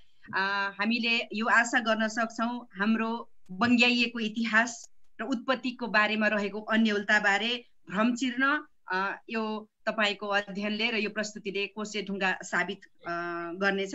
र तमु समुदायको मात्र नभए यहाँले भन्नुभए जस्तो अन्य हामी जस्ता आदिवासी जनजाति समुदायहरूका लागि पनि अध्ययनको ढोका खुलेको हामीलाई पनि भान भएको छ। यहाँलाई धेरै धेरै धन्यवाद। अब म यहाँहरूले राख्नु भएको प्रश्नको उत्तर दिनुहुन म डाक्टर टेकलाई फेरि स्क्रिनमा अगाडि ल्याउँछु। Doctor take.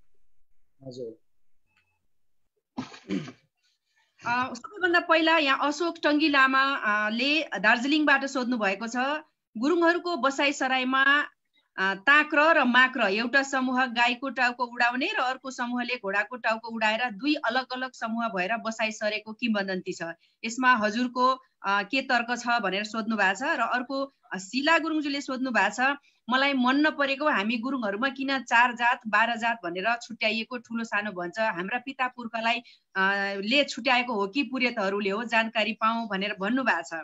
यसै गरी डम्बर सिंह गुरुङज्यूले सोध्नु भएको छ। म अहिले तिनवटा प्रश्न लिन्छु डाक्टर साहबलाई। धेरै धेरै धन्यवाद। तपाईँको अध्ययन समस्त गुरुङहरूको इतिहास थाहा पाउनका लागि संसारभर छरिएर रहेका हामी गुरुङहरूको एकताका लागि कोसे ढुङ्गो साबित हुने कुरामा विश्वस्त हुन सकिन्छ। यसअघि यहाँले भन्नुभए अनुसार हाम्रो डिएनए तामाङ र मगरसँग पनि केही मिल्दोजुल्दो भएको भन्नुभयो। गुरुङ गुरुङ बिचको डिएनएको प्रतिशत र उनीहरूसँगको प्रतिशतमा के कति जति अन्तर होला भनेर राख्नु भएको छ डमर सिंह गुरुङजीले। डाक्टर साहब अहिले मैले तिनवटा प्रश्न राखेँ। धेरै धेरै धन्यवाद तपाईँको जीवनको पनि सहजकर्ता मलाई भनिदिनु भएकोमा। हामी हाम्रो जीवनको सहयात्राको उन्तिस वर्षमा छौँ यहाँहरूको जानकारीको लागि। धन्यवाद। हजुर डाक्टर साहब। धन्यवाद अनिताजी। यो साह्रै महत्त्वपूर्ण प्रश्नहरू राखिदिनु भएको छ। जसमध्ये मैले धेरै पेतालुता र किम्बदन्तीका कुराहरूलाई सायद सबै समेट्न सक्ने म क्षमता सायद राख्दिनँ होला। यो ताक्र र माक्रको बारेमा सायद अरू किम्बदन्तीसँगै अध्ययन गर्नु हुने महानुभावहरूले मेरा अग्रजहरूले सायद गरिदिनु होला। हाम्रो यो यो स्टडीमा जुन मैले पिएचडी गर्दाको स्टडीमा चाहिँ यी सबै किम्बदन्तीहरूलाई मेरो समयको कारण र मैले केही कुराहरू प्रमाणित गरेर देखाएर मेरो पिएचडी लिनुपर्ने भएको हुनाले यी सबै किम्बदन्तीप्रति चाहिँ म गइनँ। त्यसले गर्दा अहिले म यी सबैको बारेमा चाहिँ यहाँलाई सम्पूर्ण व्याख्या गर्न सक्न चाहिँ असमर्थ छु। यसको लागि म माफी चाहन्छु। अब यो शिला गुरुङज्यूले भन्नुभएको चार जात बार जात भन्ने अथवा सोह्र जात भन्ने जुन प्रचलन हो यसमा मैले अहिलेसम्म नेपालमा लेखिएका इतिहासका पानाहरू जे जति किताबहरू छन् जे जति वंशावली वंशावलीहरू लेखिएका छन् भनिएको छ ती सबैबाट हेर्दा र त्यो वंशावलीको किताबलाई चाहिँ अध्ययन गर्दा यो हामी गुरुङहरूले राखेको होइन। है यसको लागि के हो त भन्दा इतिहास नेपालको अलिकति पछाडि जाने हो भने झन्डै बाह्रौँ तेह्रौँ शताब्दीपछि नेपालमा शाहवंशका पनि पुर्खा पुर्खाहरू नेपालको भेगमा छिरेको हुन त त्योभन्दा अगाडि लिच्छिपीहरू पनि छिरेको र लिच्छिपीको कालमै पनि जातपातका कुराहरू नआएका होइनन्। तर हाम्रो भेग यति विकट थियो तत्कालीन समयमा कि सबै ठाउँमा यो जातपातको विषय र यो वास्तवमा बोलचालको हिसाबले सम्पर्क हुने कुरो पनि थिएन है? र यो चार जात सोह्र जातको कुरा चाहिँ अघि नै मैले भने पन्ध्र सय उनासाठी उनपचास विक्रम सम्बतमा विक्रम सम्बतमा कास्कीका राजा यहाँ विभिन्न नाम दिइएको छ कास्कीका राजाको जगाती खान जगदेश खान र फाइनली चाहिँ ती राजाले तात्कालीन समयमा दिल्लीका बादशाहसँग चाहिँ उनले आफ्नो राज्य चाहिँ विस्तार गरेको हुनाले उनले चाहिँ बादशाहलाई खुसी पार्दै अबदेखि म बादशाह नभए पनि शाह बन्ने भन्ने हिसाबले ती राजाको नाम चाहिँ कुलमण्डन शाह भन्ने भयो। र अब कुलमण्डन शाहले राज्यलाई विस्तार गरे विस्तार गर्दाखेरि हामी गुरुङहरूको राज्य तात्कालीन सम्ममा हामीलाई सायद गुरुङ भनिन्थ्यो कि थिएन। त्यो भनिन्थ्यो कि जस्तो पनि लाग्छ तर त्यस्तो प्रमाण हामीसँग लिखित त्योभन्दा अगाडिको छैन। त्यसले गर्दाखेरि त्यो गुरुङहरू भन्ने जुनहरूलाई चाहिँ अब यो व्यवस्था गर्नको लागि एक किसिमको उनीहरूसँगको फ्रेमवर्क भन्ने हो भने चाहिँ जातपातमा आधारित फ्रेमवर्क उनीहरू हिन्दू भएको हिसाबले जातपातमा आधारित फ्रेमवर्कको आधारमा चाहिँ अरू मान्छेलाई पनि त्यसै गरेर जातपात गोत्र आदि दियो भने व्यवस्थापन गर्न सजिलो हुन्छ भन्ने हिसाबले नै अनि यो दिइएको बुझिन्छ हाम्रा अग्रजहरूले पनि त्यही भन्नुहुन्छ। त्यो क्रममा भनौँ न अब हामीसँग ऋषि भन्ने चाहिँ छैन। हामी गर्ग ऋषि भनौँ अथवा भारद्वाज ऋषि भन्ने चाहिँ हामी गुरुङहरूमा आफैमा छैन। तर त्यो पाँच सय अठाइस वर्ष अगाडि त्यसमा गाँसेर कोही गर्ग ऋषि कोही भारद्वाज ऋषि र कोहीको ऋषि नभएको कन्टेक्समा चाहिँ उनीहरूलाई तल्लो जातको भन्ने चाहिँ अर्थमा त्यो कथा अनुसार हेर्दाखेरि चाहिँ त्यो यस्तो कथा जुडाइएको छ। एकदम अचम्म लाग्दो कथा जुडाइएको छ। त्यो कथा अनुसार जसको त्यो ऋषिसँग गाँसिएको छैन उनीहरूलाई कहिले के गोत्र कहिले के गोत्र भन्ने समेत गरेको पनि पाइन्छ। त्यसरी हेर्दाखेरि त्यो हामी गुरुङहरूको आफ्नो मौलिक पहिचान त्यो मौलिक तौर तरिका होइन है? अब त्यसले गर्दाखेरि मैले शिलाजीको प्रश्नलाई सायद प्रश्न पार्न सकेँ होला। अनि डम्बर गुरुङजीले भन्नुभएको अनुसार हो मैले थेसिसको समयमा सकेसम्म गुरुङको केस स्टडी गरेको नाताले गुरुङमै चाहिँ कन्सन्ट्रेट गरेर अमेरिकामा चारजनाको चाहिँ गरेको भए पनि दुईजना गुरुङकोले मात्रै थेसिसमा समावेश गरेँ र चारजना चाहिँ गरेको पनि सबै गुरुङको मात्रै गरेर गरेँ। यहाँहरूको जानकारीको लागि मैले मगर एकजना र तामाङ एकजनाको पनि गरेको भन्ने छ। त्यो उहाँहरूको पनि जुन अमेरिकामा गरेको टेस्ट अनुसार गुरुङहरूको जे जति प्रतिशत हुन्छ कि यति प्रतिशत डिएनए यहाँ मैले ठ्याक्कै अहिले डाटैको हिसाबले हेर्न पर्ने हुन्छ। तर त्यो डिएनएको प्रतिशत मानव एकाउन्न प्रतिशत इस्ट एसियनहरूको भनेर गुरुङको लम गुरुङकोमा चाहिँ भनेको छ भने तामाङको पनि उनपचास पचास प्रतिशत इस्ट एसियन बनिएको छ। त्यसै गरी साउथ चाइना सीको पनि त्यसै गरेर के अरे लम गुरुङको चाहिँ साउथ चाइना सीको चौबिस प्रतिशत जति भनिएको छ भने अनि यता मगरको पनि झन्डै अठार प्रतिशत बिस प्रतिशत भनेको अवस्था छ। अर्थ के भयो भन्दाखेरि त्यो प्याटर्नको हिसाबले सबैको उतै देखाउँछ होइन? र यो उतै देखाउने भन्ने कुराको कारणले हेर्दाखेरि उहाँहरूको र हाम्रो हिसाबले सायद एउटै हुनसक्छ भन्ने चाहिँ लाग्छ। त्यो चाहिँ अब अझै योभन्दा बढी अध्ययन गर्दै जानुपर्ने आवश्यकता छ। हामीले प्रयास पनि गरिरहेका छौँ र सायद यसको बारेमा सबै जति सक्दो धेरैको हुनसक्छ उहाँहरू पनि गरेर पछि चाहिँ अर्को रिसर्च पेपर चाहिँ लेख्नु पर्ला भन्ने चाहिँ सोचेको छु हस् धन्यवाद। अरू प्रश्न?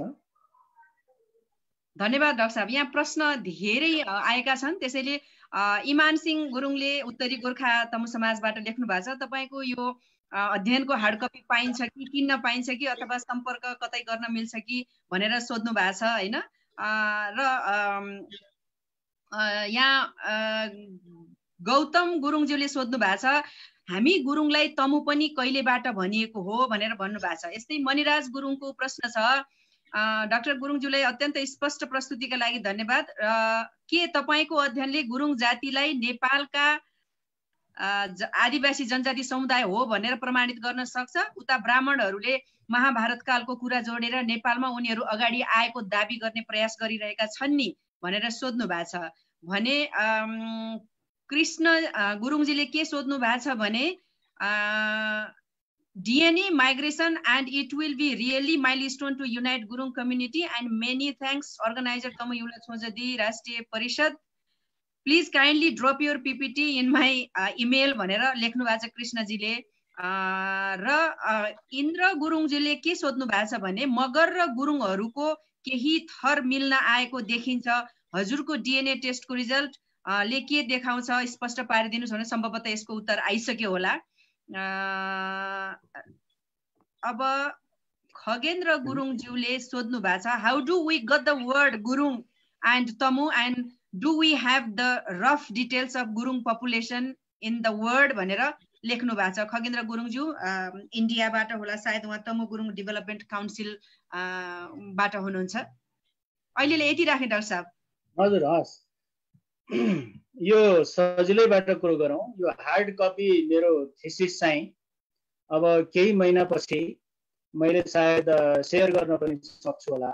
यो अहिलेको प्रावधान के भने सिचुवान युनिभर्सिटीले मलाई सर्टेन समयसम्म चाहिँ तिमी बाँड्न पाउँदैनौ भनेर एक किसिमको एग्रिमेन्ट हुँदो रहेछ। त्यसअनुसार म त्योसँग बाँडिएको छु। तर पिपिटीको हकमा तुरुन्तै बग्नुपर्दा पिपिटी चाहिँ अब यो मैले अहिले जसरी राखेँ मैले इमेलमा पठाइदिन जहाँ पठाइदिन पनि सक्छु त्यो चाहिँ ठिक छ। अब त्यसले गर्दा मैले दुईवटा कुरा भनिहालेँ। अनि डिएनएको इन्द्र गुरुङजीले भन्नुभएको अनुसार चाहिँ डिएनएको कुरा पनि हामीसँग मिल्दो मैले अमेरिकाको कुरा गरेर भनिहालेँ मिल्दो छ है उहाँहरूसँग। अनि थरीको हिसाबले पनि अब यो इन्ट्रेस्टिङ छ यसलाई विश्लेषणको बाटो अरू विद्यार्थीहरू अरू अध्ययनकर्ताहरू पनि आउनुपर्छ भन्नेमा म छु जस्तो हालसालै म गोर्खाको अजिरकोट गाउँपालिकामा गएको थिएँ। अजिरकोटमा चाहिँ त्यहाँ दर्लामी गुरुङहरू हुनुहुन्छ खुलाल गुरुङहरू हुनुहुन्छ आदि हुनुहुन्छ भने मैले पाल्पाको एरियामा दर्लामी मगरहरू अनि बागलुङ एरियामा चाहिँ खुलाल गुल्मीमा पनि खुलाल गुरुङहरू सरी मगरहरू पनि देखेको छु। यसरी हेर्दाखेरि यो नामै एउटै कसरी हुन गयो?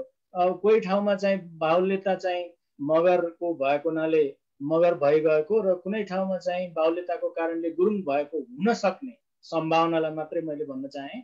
यो चाहिँ छ। र सायद भने नि अब तिन हजार वर्ष अगाडिको कुरा गर्ने हो अथवा हजारै वर्ष अगाडिको कुरा गर्ने हो भने सायद गुरुङ मगरहरू त्यति बेलासम्म हामी तिमीहरू गुरुङ तिमीहरू मगर भन्ने लाइनमा चाहिँ छुट्टिएको अवस्था नभएको पनि हुनसक्छ है?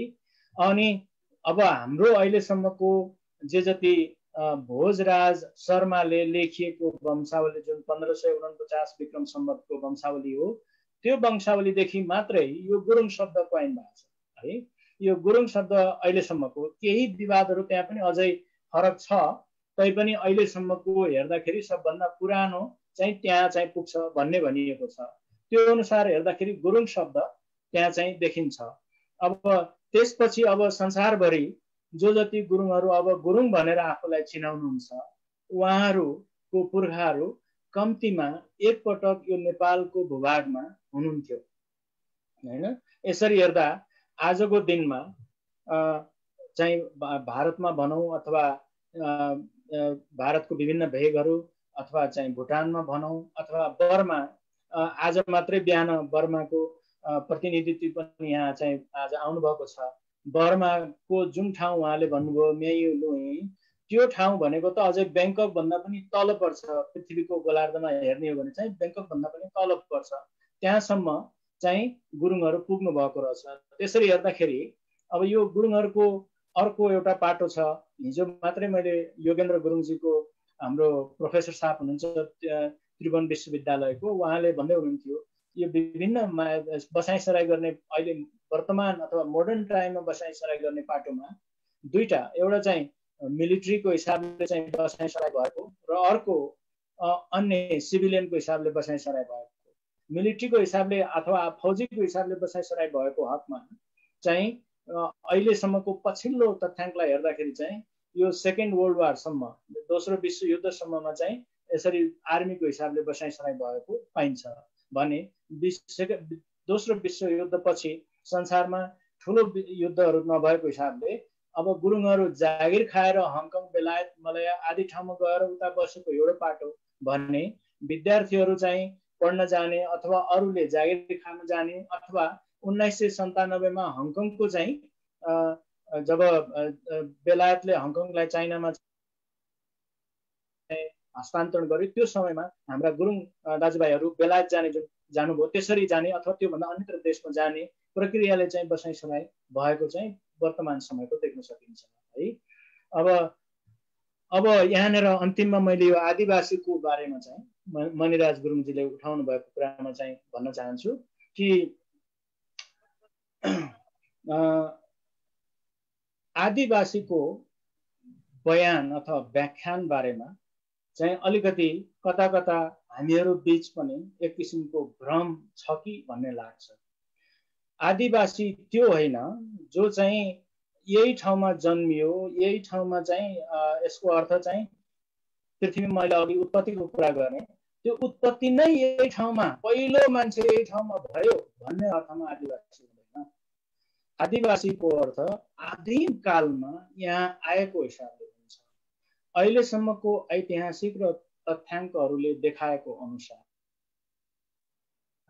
नेपालमा है कसरी बुझ्ने प्रयास गरौँ भने नेपालको पहाडी भेगमा है लिच्छवीहरू जो चाहिँ अलिकति यो पहाडतिर अथवा मङ्गोलियन टाइपको नभएकाहरू लिच्छवीहरू चाहिँ पहिलो पटक चाहिँ नेपालको पहाडी भेगमा छिरेको मानिन्छ र बसाइ गरेको मानिन्छ र उनीहरूले त्योभन्दा अगाडि चाहिँ मानिँदैन। जबकि हाम्रो लिखित इतिहास छैन जसको लिखित इतिहास नभएका मान्छेहरू छौँ उनीहरूले यो हिमाल काटेर यता आउने जुन एउटा इन्सेन्टिभ हुन्छ।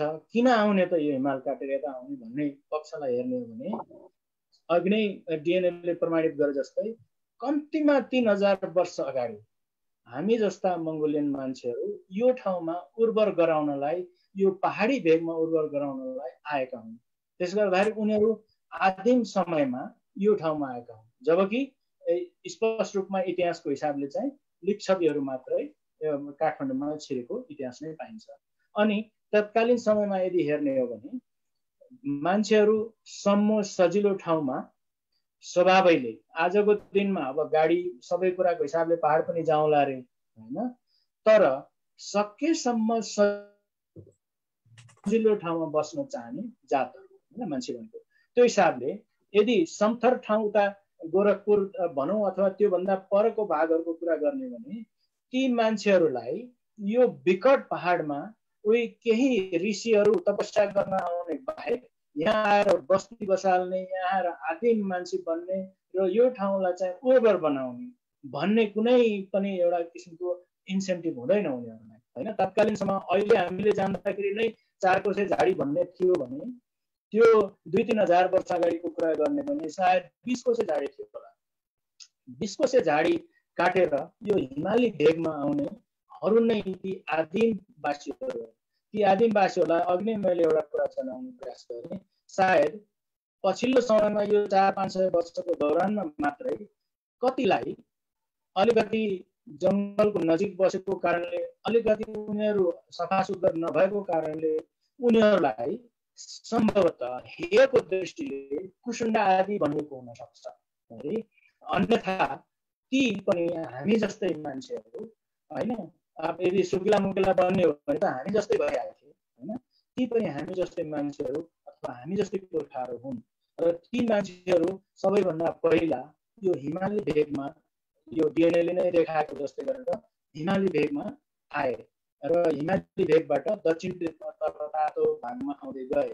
डिएनएले इभन के पनि देखाएको छ भन्दाखेरि हामी जस्तै थारूहरू पनि पछिल्लो समयमा हरप्पन सिभिलाइजेसनसँग चाहिँ थारूहरूलाई चाहिँ जोड्न ठुलो एक्सर्साइज भयो डिएनएबाट तर थारूहरूलाई कसै गरी पनि जोड्न सकेनन् र फाइनली उनीहरू चिनसँगै जोडिए होइन?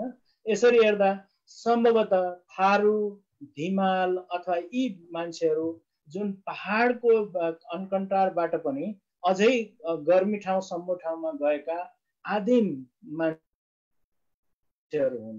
यसरी हेर्दाखेरि आदिवासी अथवा आदिम भन्ने कुरा को पहिला आयो भन्दाखेरि सबैभन्दा पहिला आउनेहरू चाहिँ यही मङ्गोलियन ओरिजिनका मान्छेहरू नै यो ठाउँमा आए अथवा यो पहाडी भेगमा आए र इभन यो समथर नेपालको तराईको भाग पनि ठाउँमा पनि यही पहाडतिरबाट जानेहरू पहिला आए। किन भन्दा त्यो ठाउँमा उताबाट आउनको कुनै इन्सेन्टिभ थिएन। अब थुप्रै इतिहासकारहरूले त्यसको बारेमा लेखिसक्नु भएको छ। त्यसले गर्दाखेरि आदिवासी भन्नाले त्यसरी बुझौँ। आदिवासीको अर्थ यहीँ खुत्त जन्मेको हिसाबको आधारमा उत्पत्ति मानवको उत्पत्ति नै यहीँ भएको हिसाबमा चाहिँ नसम्झौँ। हस् धन्यवाद। धन्यवाद डाक्टर साहब। युवराज लेम तमुले प्युठानबाट सोध्नु भएको छ तमुहरूको उत्पत्तिको बारेमा केही पुस्तकहरूमा चोनास छिनी घ्याल्छ ठिनी घ्याल्छ फली प्रो लिप्रो मार्सियो लार्के पुरानो राज्य हो भन्ने आदि पुरानो पेमा उल्लेख पाइन्छ भन्ने भनाइ छ। खासमा तिब्बत पश्चात र खोला सोथरसम्म कसरी आगमन भयो यसबारे प्रस्ताव दिनुहुन्छ कि भनेर भन्नुभएको छ। सायद यो अलिकति अगाडि पनि आइसक्यो होला। यहाँ धेरैजनाले धन्यवाद दिनुभएको छ यहाँको प्रस्तुतिको लागि। इन्द्र गुरुङले फेरि सोध्नु भएको छ कोकोली मार्स्यो भन्ने स्थान जुम्लामा पर्छ भन्ने पनि सुनिन्छ। यसबारेमा केही भनिदिनुहुन्छ कि? पनि भन्नुभएको छ।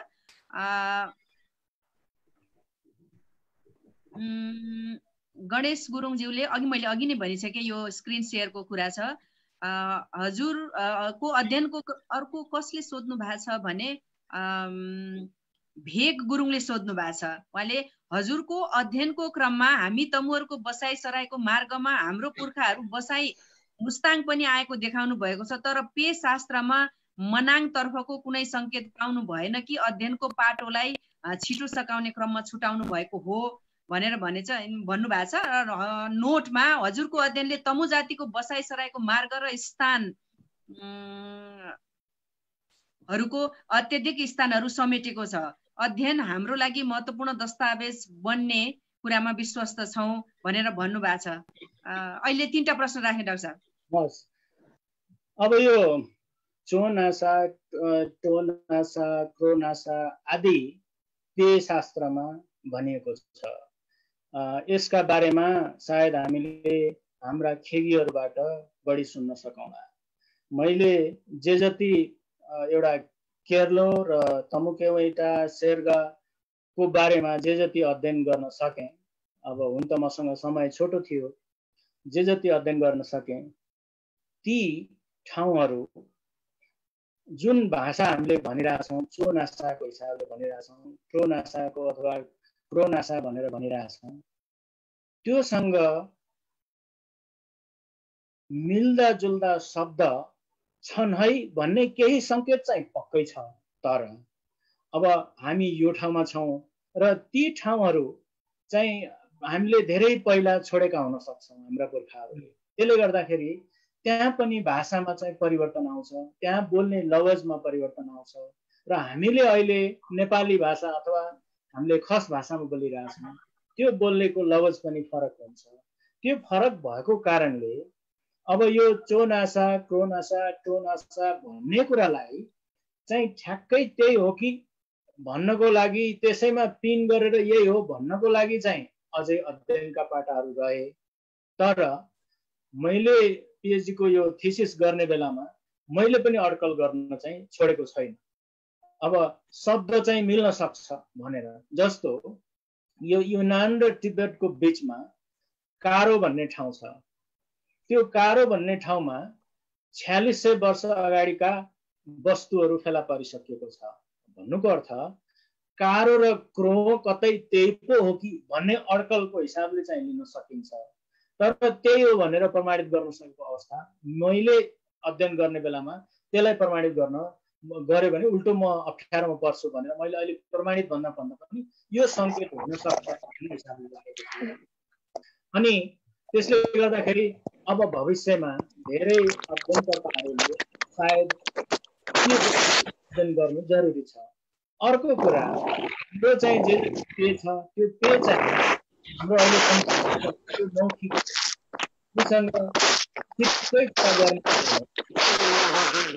अप्ठ्यारो परो जस्तो छ हजुर अब हाम्रो लेख्न थालेकै कुरा गर्ने हो भने मलाई अहिले के सम्झना आउँछ भने हामी गुरुङहरूमा लेख्ने नै परम्परा थियो कि थिएन? त्यो पनि हामी निर्केल गर्न सकिरहेको अवस्था होइन।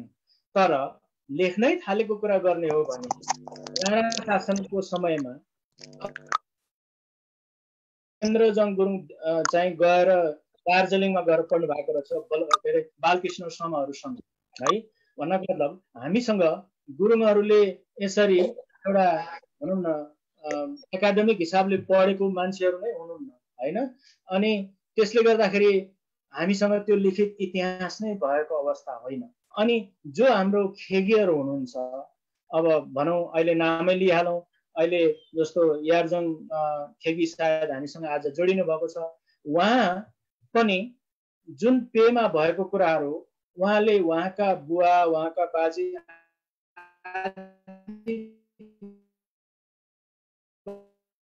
बाट ल्याउँदाखेरि त्यो ओरल हिसाब कुरामा कति कुराहरूलाई अब त्यो चाहिँ यो डेटको हो भनेर भन्न सक्ने अवस्था होइन। त्यसले गर्दाखेरि त्यो क्रो नासा र कारो हुन सक्ने कुरालाई पनि कुन डेटमा चाहिँ हो भनेर भन्नको लागि हाम्रो पेले चाहिँ सहयोग गर्दैन होइन? त्यसले गर्दाखेरि हामीले पहिले सङ्केत चाहिँ दिन्छ हाम्रो पेले चाहिँ पेतालुताले सङ्केत दिन्छ तर हामीलाई डेट दिँदैन होइन?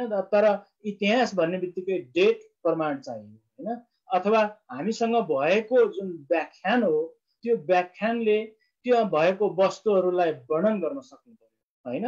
अनि त्यो वर्णन चाहिँ हाम्रो वर्णन गरेको कारोमा भएको सबै कुरा चाहिँ हाम्रो मानिलिउँ एकछिनलाई। सबै कुरा हाम्रो पेले वर्णन गरेर ठ्याक्कै मिल्यो भने हाम्रो पेले नै सङ्ग्रहित गरेको रहेछ भन्न सकिन्छ।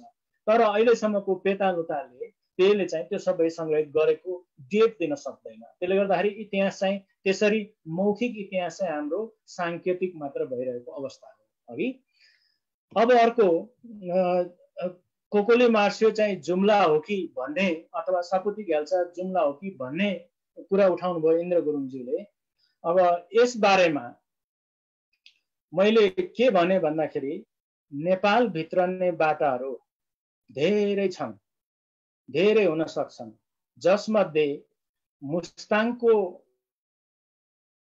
एउटा पुरातात्विक अध्ययनको कारणले एउटा बाटो चाहिँ हुने कुरालाई जिनसँग गाँसेर अथवा डिएनएसँग गाँसेर एउटा बाटो भयो भन्ने कुरा मैले यहाँसँग राखेँ। तर त्यस्ता बाटाहरू चाहिँ यो पूर्वदेखि पश्चिमसम्म नै हुन सक्छन्। है त्यो चाहिँ छ। तर अब अर्को पक्ष चाहिँ के बुझ्नु पर्यो हाम्रो यहाँ भन्दाखेरि यदि कोकोली मार्स्यो चाहिँ अब यहाँनिर विभिन्न हुन सक्छन्। म कुनै त्यस्तो विवादित कुरा गर्न चाहेको होइन। हुन सक्छन् आफ्ना मान्यताहरू। तर के भने कोकोली मार्से भन्ने शब्द र कोकोनोर भन्ने शब्द जुन चाहिँ कोकोनोर फेरि मङ्गोलियन शब्द है त्यो शब्द कसरी एक किसिमले एउटै खाले स्वरमा आउनु गयो भन्ने एउटा पाटो छ होइन।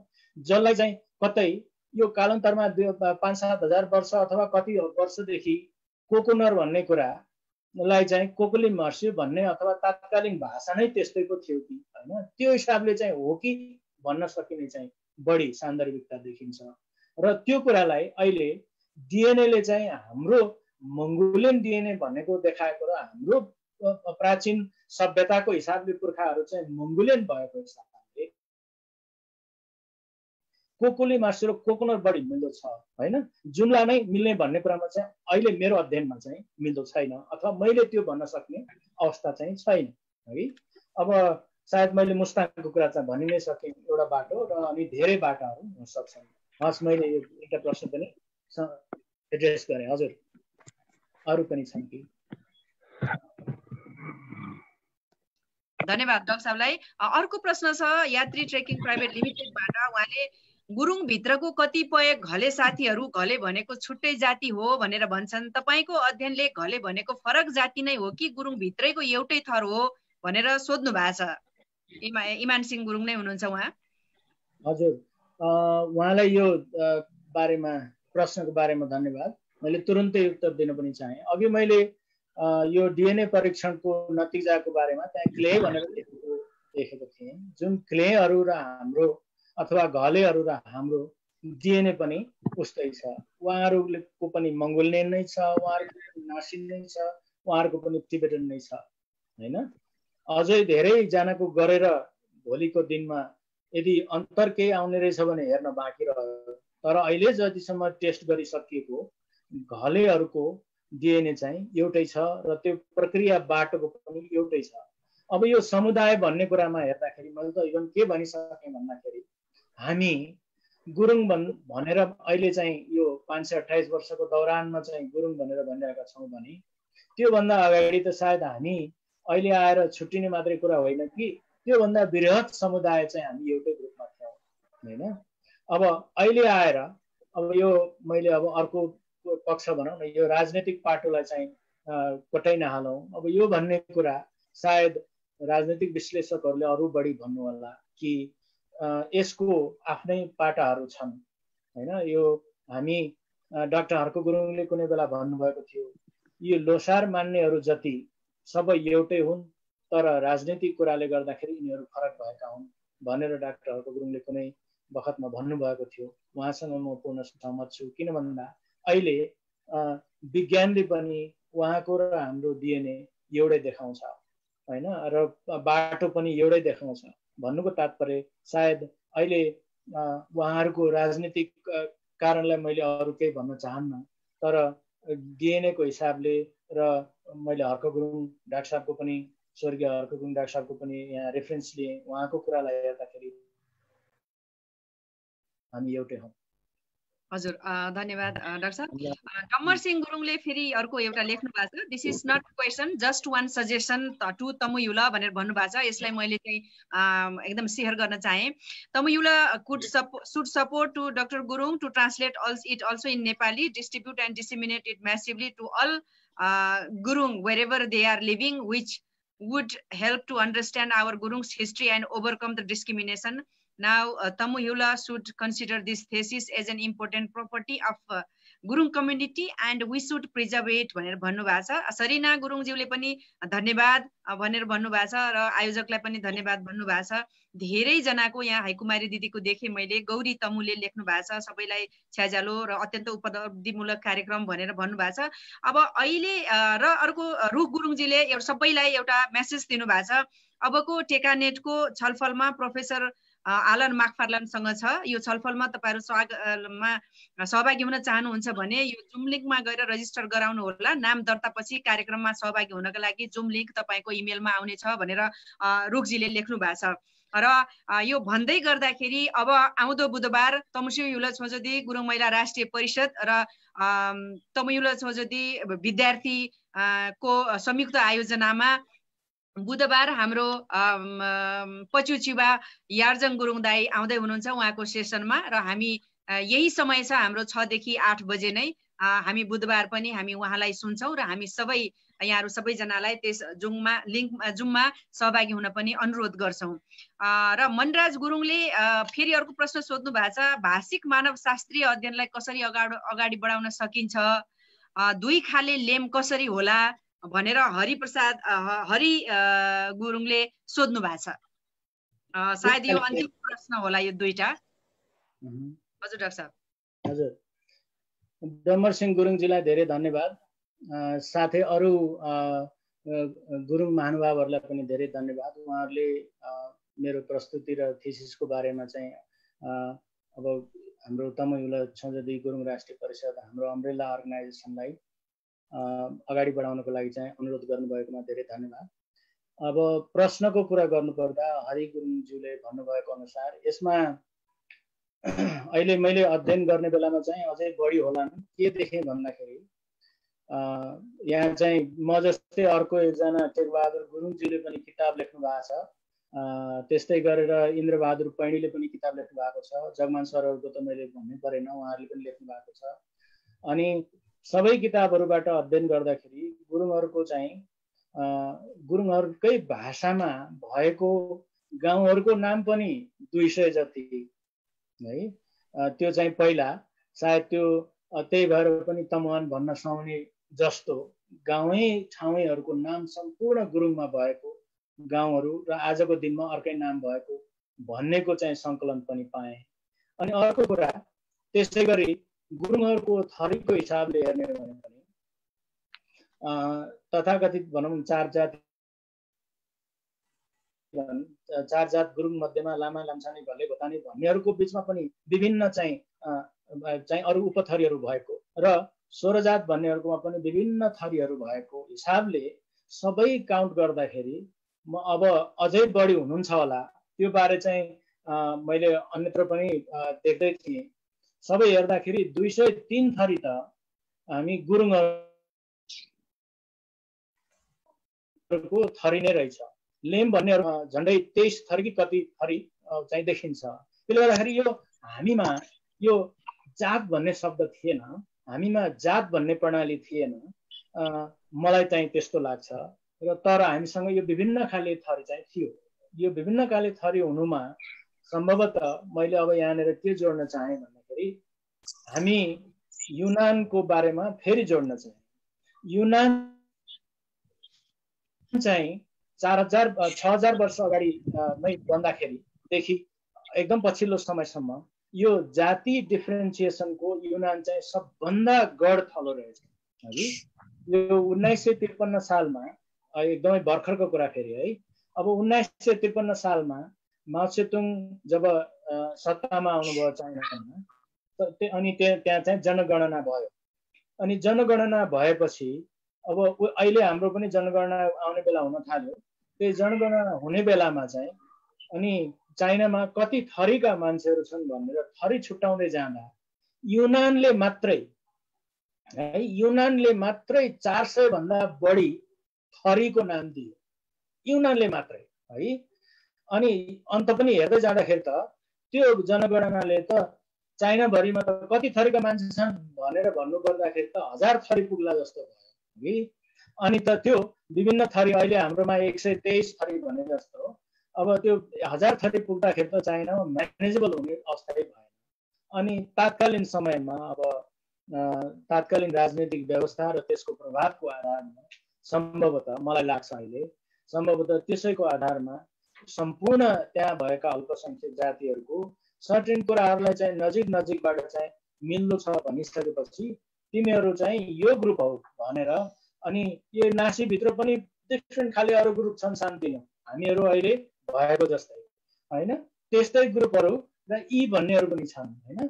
ती ग्रुपहरूलाई चाहिँ एक ठाउँमा जोडेर चिनमा अल्पसङ्ख्यकहरू जम्मा पचपन्न थरी र हान जाति बहुसङ्ख्यक गरेर छप्पन्न थरीको सरकारी रेकग्नेसन छ। सरकारी चाहिँ रेकग्नेसन चाहिँ चाइनामा त्यसरी चाहिँ व्यवस्थापन गरिएको छ होइन? अब हामी गुरुङहरूमै हेर्दाखेरि हामी अहिले मैले त्यो सामान्य हेर्दाखेरि हाम्रो भित्रको दुई सय तिन थरी आउनुमा सम्भवतः हाम्रै पुर्खाबाट हामी सिकेका रहेछौँ कि जस्तो लाग्छ कि मैले अहिले भन्नुपर्दाखेरि कि? अनि यो हामीसँग चाहिँ यो सबै भएको हुनाले हामीसँग दुई खाले मात्रै लेम होइन कि? हामीसँग धेरै लेमहरू छन्। यो हुनुमा युनानको कुरा गर्ने हो भने युनान र हुनान भन्ने ठाउँहरूमा त्यहाँनिर चाहिँ यस्तो थुम्का थुम्का थुम्का पहाडहरू अहिले हाम्रो भने जस्तै हाम्रो देशभन्दा दसौँ गुणा ठुलो ठाउँ छ त्यो होइन? त्यो ठाउँमा सानसानो सानसानो सानसानो ठाउँमा चाहिँ बसाइ सराई गर्दै गए अब परिवार बढ्यो बसाइ सराई गर्दै गए त्यहाँ गइसकेपछि कालान्तरमा सय पचास वर्ष दुई सय वर्ष कति भयो त्यसपछि चाहिँ त्यहाँ अर्को थरीले नाम लियो होइन? त्यसो गर्दा गर्दै त्यहाँ चार सयभन्दा बढी थरी त उन्नाइस सय त्रिपन्नको जनसङ्ख्याको बेलामै देखियो होइन? त्यसरी थरीहरू चाहिँ विकास हुँदो रहेछन् होइन? अनि त्यसो भएको हुनाले हाम्रो ठाउँमा हाम्रो थरीलाई लेमहरू दुई मात्रै होइन?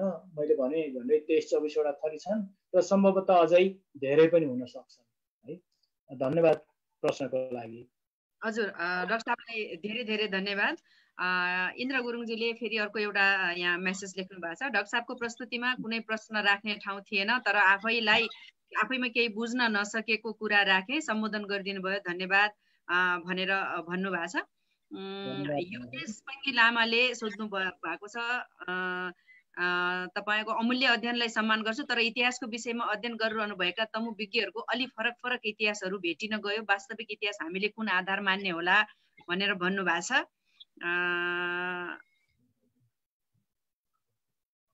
अहिलेलाई यति दुईवटा प्रश्न। अब चाहिँ हामी हाम्रा तपाईँको उत्तरपछि हामीसँग जोडिनुभएका बर्माबाट मिनबहादुर गुरुङज्यू हुनुहुन्छ।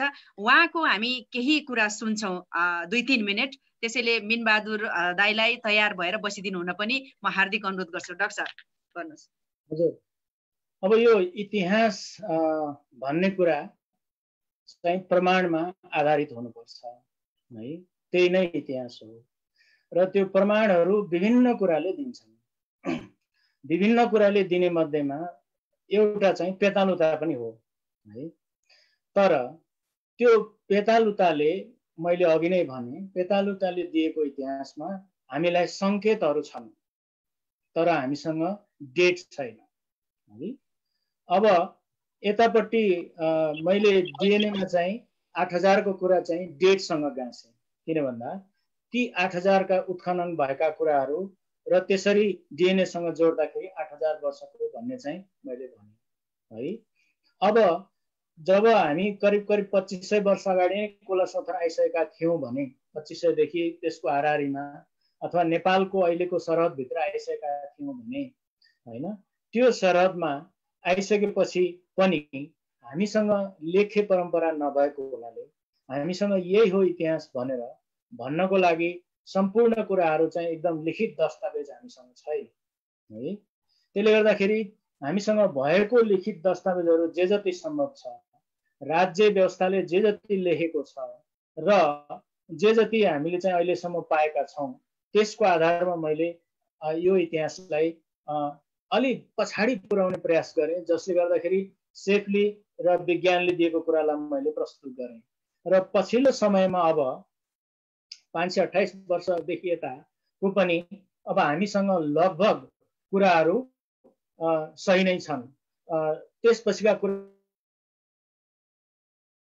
अब केही बढी अध्ययन गर्नुपर्ने र केही अझै प्रष्ट पर्ने जसमा मैले जगमान सरको नाम लिएँ। उहाँले गुरुङहरूको चाहिँ यो नेपाल एकीकरणको सन्दर्भमा गुरुङहरूको भूमिका भन्ने किताब जुन लेख्नु भएको छ त्यसमा तात्कालीन समयदेखि भनौँ न एकीकरणको समयसम्मको लागि चाहिँ त्यो एउटा महत्त्वपूर्ण इतिहासको किताब हो जहाँ चाहिँ उहाँले थुप्रै कुराहरू अभिलेख आदिबाट चाहिँ कलेक्सन गरेर राखिदिनु भएको छ होइन?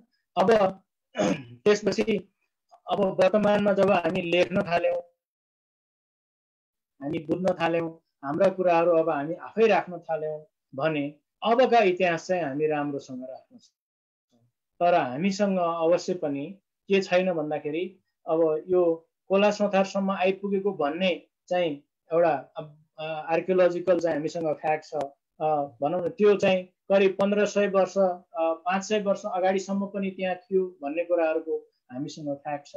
तर त्यो सबैमा हामीसँग अरू पक्षहरू इतिहासका। भन्नाले हामीसँग खेती किसानीको हामीसँग चरीचरणको हामीसँग अरू कल्चरल कुराहरू डेभलप भएको आदि इतिहासको बारेमा यदि डेटिङको हिसाबले कुरा गर्ने होइन?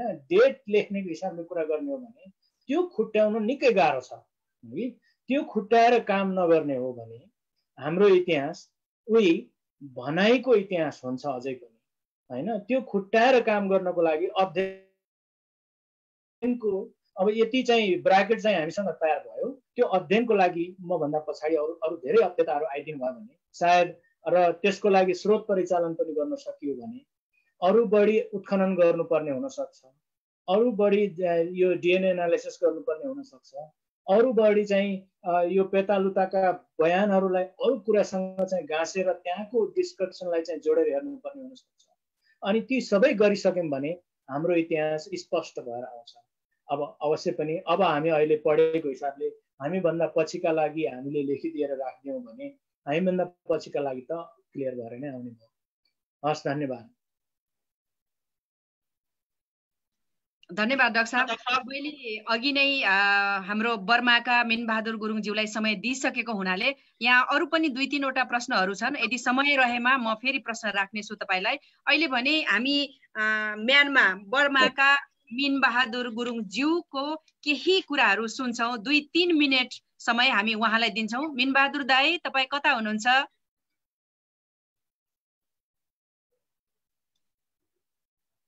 मिनबहादुर दाई बोल्नुहोस्। हेलो भन्नुहोस् त दाइ तपाईँ अनम्युट गरेर। भइसक्यो अनम्युट भइसक्यो। आउनुभयो आउनुभयो ठिक छ ल म अघिदेखि सुन्दैछु तपाईँहरूको कुराहरू। उपस्थित हुनुभएकाहरू हाम्रो बाउ बुवा बुवा अरे अब नेपालदेखि आउनुभएकाहरूले हजुरहरूलाई बाउ आमा काका छ्यामा दिदी बहिनी सबैलाई मेरो मिनबहादुर गुरुङ घले गुरुङको तर्फबाट सबैलाई झ्याछ्यालो अनि हामीहरूको मेमामा चाहिँ के छ भने भने अब गुरुङ जातिलाई मैले निकै नै गठन गरेँ। निर्मल गुरुङ नेपालदेखि निर्मल लामाज्यू आउँदाखेरि नि गठन गरेँ। हाम्रो योगजी आउँदाखेरि नि मैले लोसरको लागि मनाएँ देखाएँ घुमाएँ। सबै इतिहास हाम्रो नेपालदेखि भइसकेकोलाई जान्दै बुझ्दै ल्याउँदाखेरि त ओहो हाम्रो नेपालकोमा पनि यस्तो हुनाले बर्मामा पनि यस्तै गर्नुपर्छ भनेर हामीले बहुत कोसिसले गर्दैछौँ नि। अरू भन्नु त मेरो के छ के अरे तपाईँहरू आउनुहोस् यहाँनिर मैले गुरुङ जातिहरूलाई जम्मा गरिदिन्छु घुमाइदिन्छु। अनि डाक्टर साहबलाई एउटा सोध्नु छ निता गुरुआमा। हाम्रो मेमामा गुरुङ र मगरको ओखर पाङ्रा भन्छ। या हो या होइन अनि कसैले चाहिँ भन्छ तामाङ र गुरुङको ओखर पाङ्रा भन्छ यो विषयमा चाहिँ प्रुफ मैले एउटा पनि गर्नु सकेको छैन। हो यो क्वेसन चाहिँ हाम्रो डाक्टर साहबलाई सोधिदिनुहोस्। अनि त गुरुआमाजीले डाक्टर टेक प्रश्न सुनिहाल्नु भयो होला प्लिज। दाई एउटा कुरा सोध्नु ओखर पाङ्रा भनेको चाहिँ के अर्थ रहेछ हजुर? ओखर पाङ्रा यहाँ मेमामा त पहिलेदेखि ओखर पाङ्रा भन्थ्यो। अब नेपालमा चाहिँ के छ? अब ओखर पाङ्रा भनेको चाहिँ अब गुरुङ र मगरको मिलमिलाप भनौँ न। हजुर हजुर। कसैले चाहिँ कसैले चाहिँ नाता जोडेको छ। यो चाहिँ हामीहरूको यो पूर्व चाहिँ अलिक राम्रो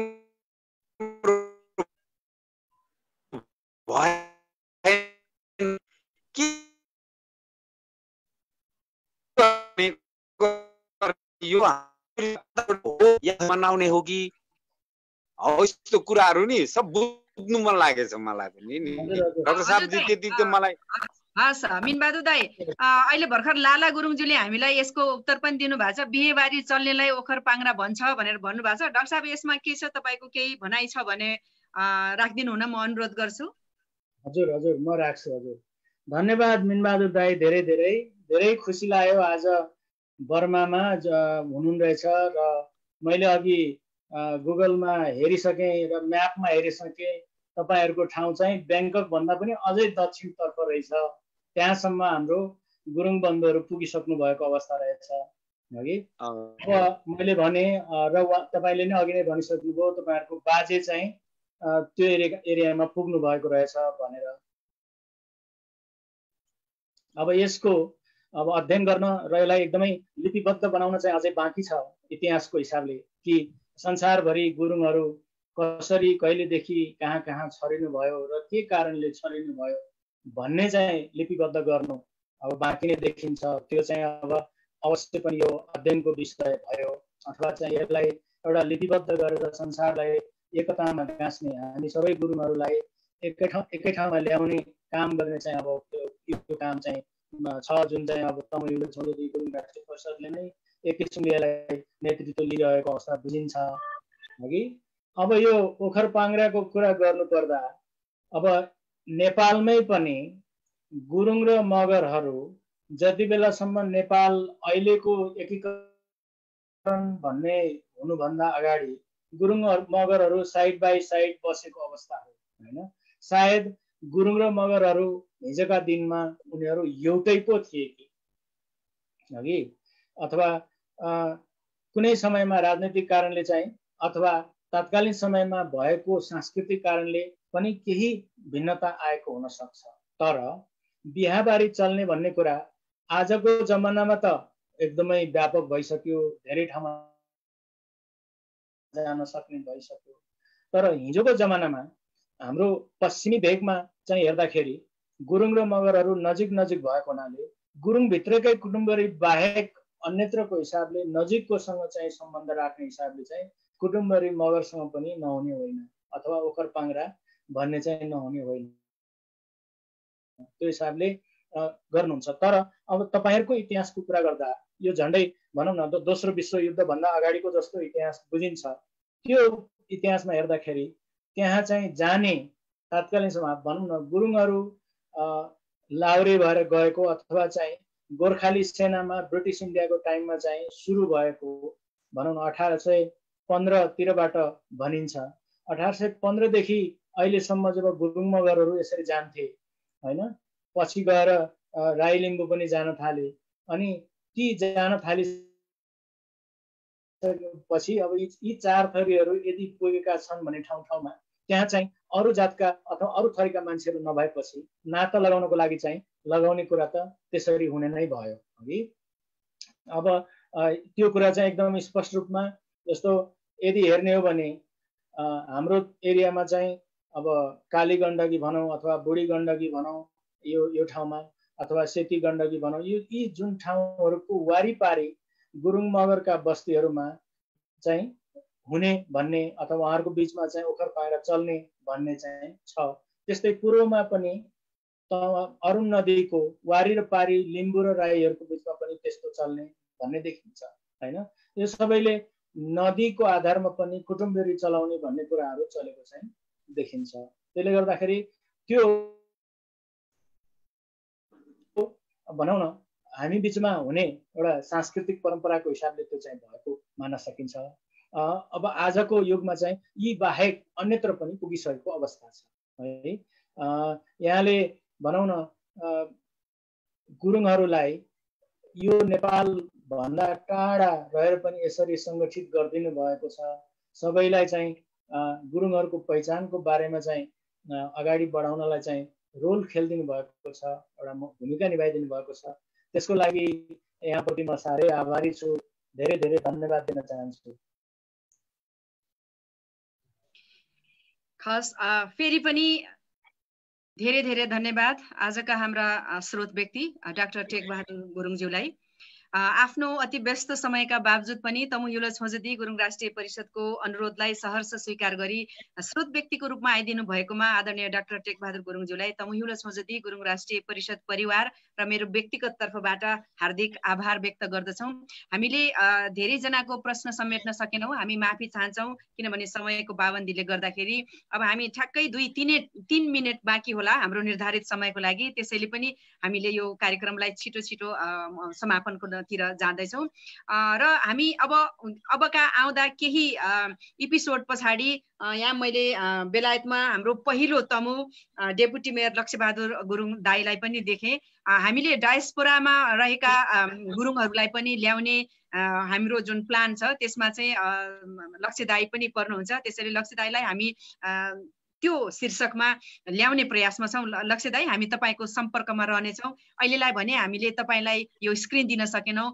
कृपया माफ गर्नुहोला किनभने यो क्वेसनको र सोध्ने जुन छ हामीले पहिल्यैदेखि हाम्रो यो निरन्तरता छ। हामीले चाहिँ प्रश्न लेखेर आएको प्रश्नलाई मात्र दिने स्क्रिन दियौँ भने अझ समय लाग्ला भनेर हामी माफी चाहन्छौँ दाई र यहाँहरू सबैजनाको सहभागिता यहाँको सक्रिय सहभागिता उत्साहपूर्ण सहभागिताको लागि धेरै धेरै धन्यवाद। र आउँदा दिनहरूमा यहाँहरूको सल्लाह सुझाव र प्रतिक्रियाको हामी अपेक्षा पनि राख्छौँ।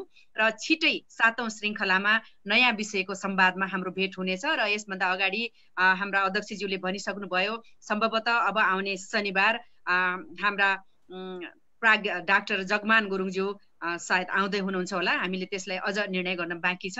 अन्तमा तमुहिलो छोजदी गुरुङ राष्ट्रिय परिषदका केन्द्रीय महासचिव श्री सूर्यबहादुर गुरुङज्यूलाई आफ्नो भनाइसहित यो संवादको समापन गरिदिनु हुन अनुरोध गर्दै यो स्क्रिन हस्तान्तरण गर्छु। यहाँहरू सबै सुरक्षित रहनुहोस् स्वस्थ रहनुहोस् भन्ने कामनाका साथ म बिदा हुन्छु। नमस्कार ओर्से। धन्यवाद ग्यासाजे धन्यवाद अनिताजी। श्रद्धेय अध्यक्षज्यू तमिल गुण राष्ट्रिय परिषदद्वारा सञ्चालित छैटौँ जुम संवादमा देश विदेशबाट सहभागी हुनुहुने तमुको अग्रज व्यक्तित्वहरू आजको स्रोत व्यक्ति डाक्टर टेक बहादुर गुरुङज्यू लगायत सम्पूर्णमा तमिल गुण राष्ट्रिय परिषदको तर्फबाट र म महासचिवको तर्फबाट आभार प्रकट गर्न चाहन्छु।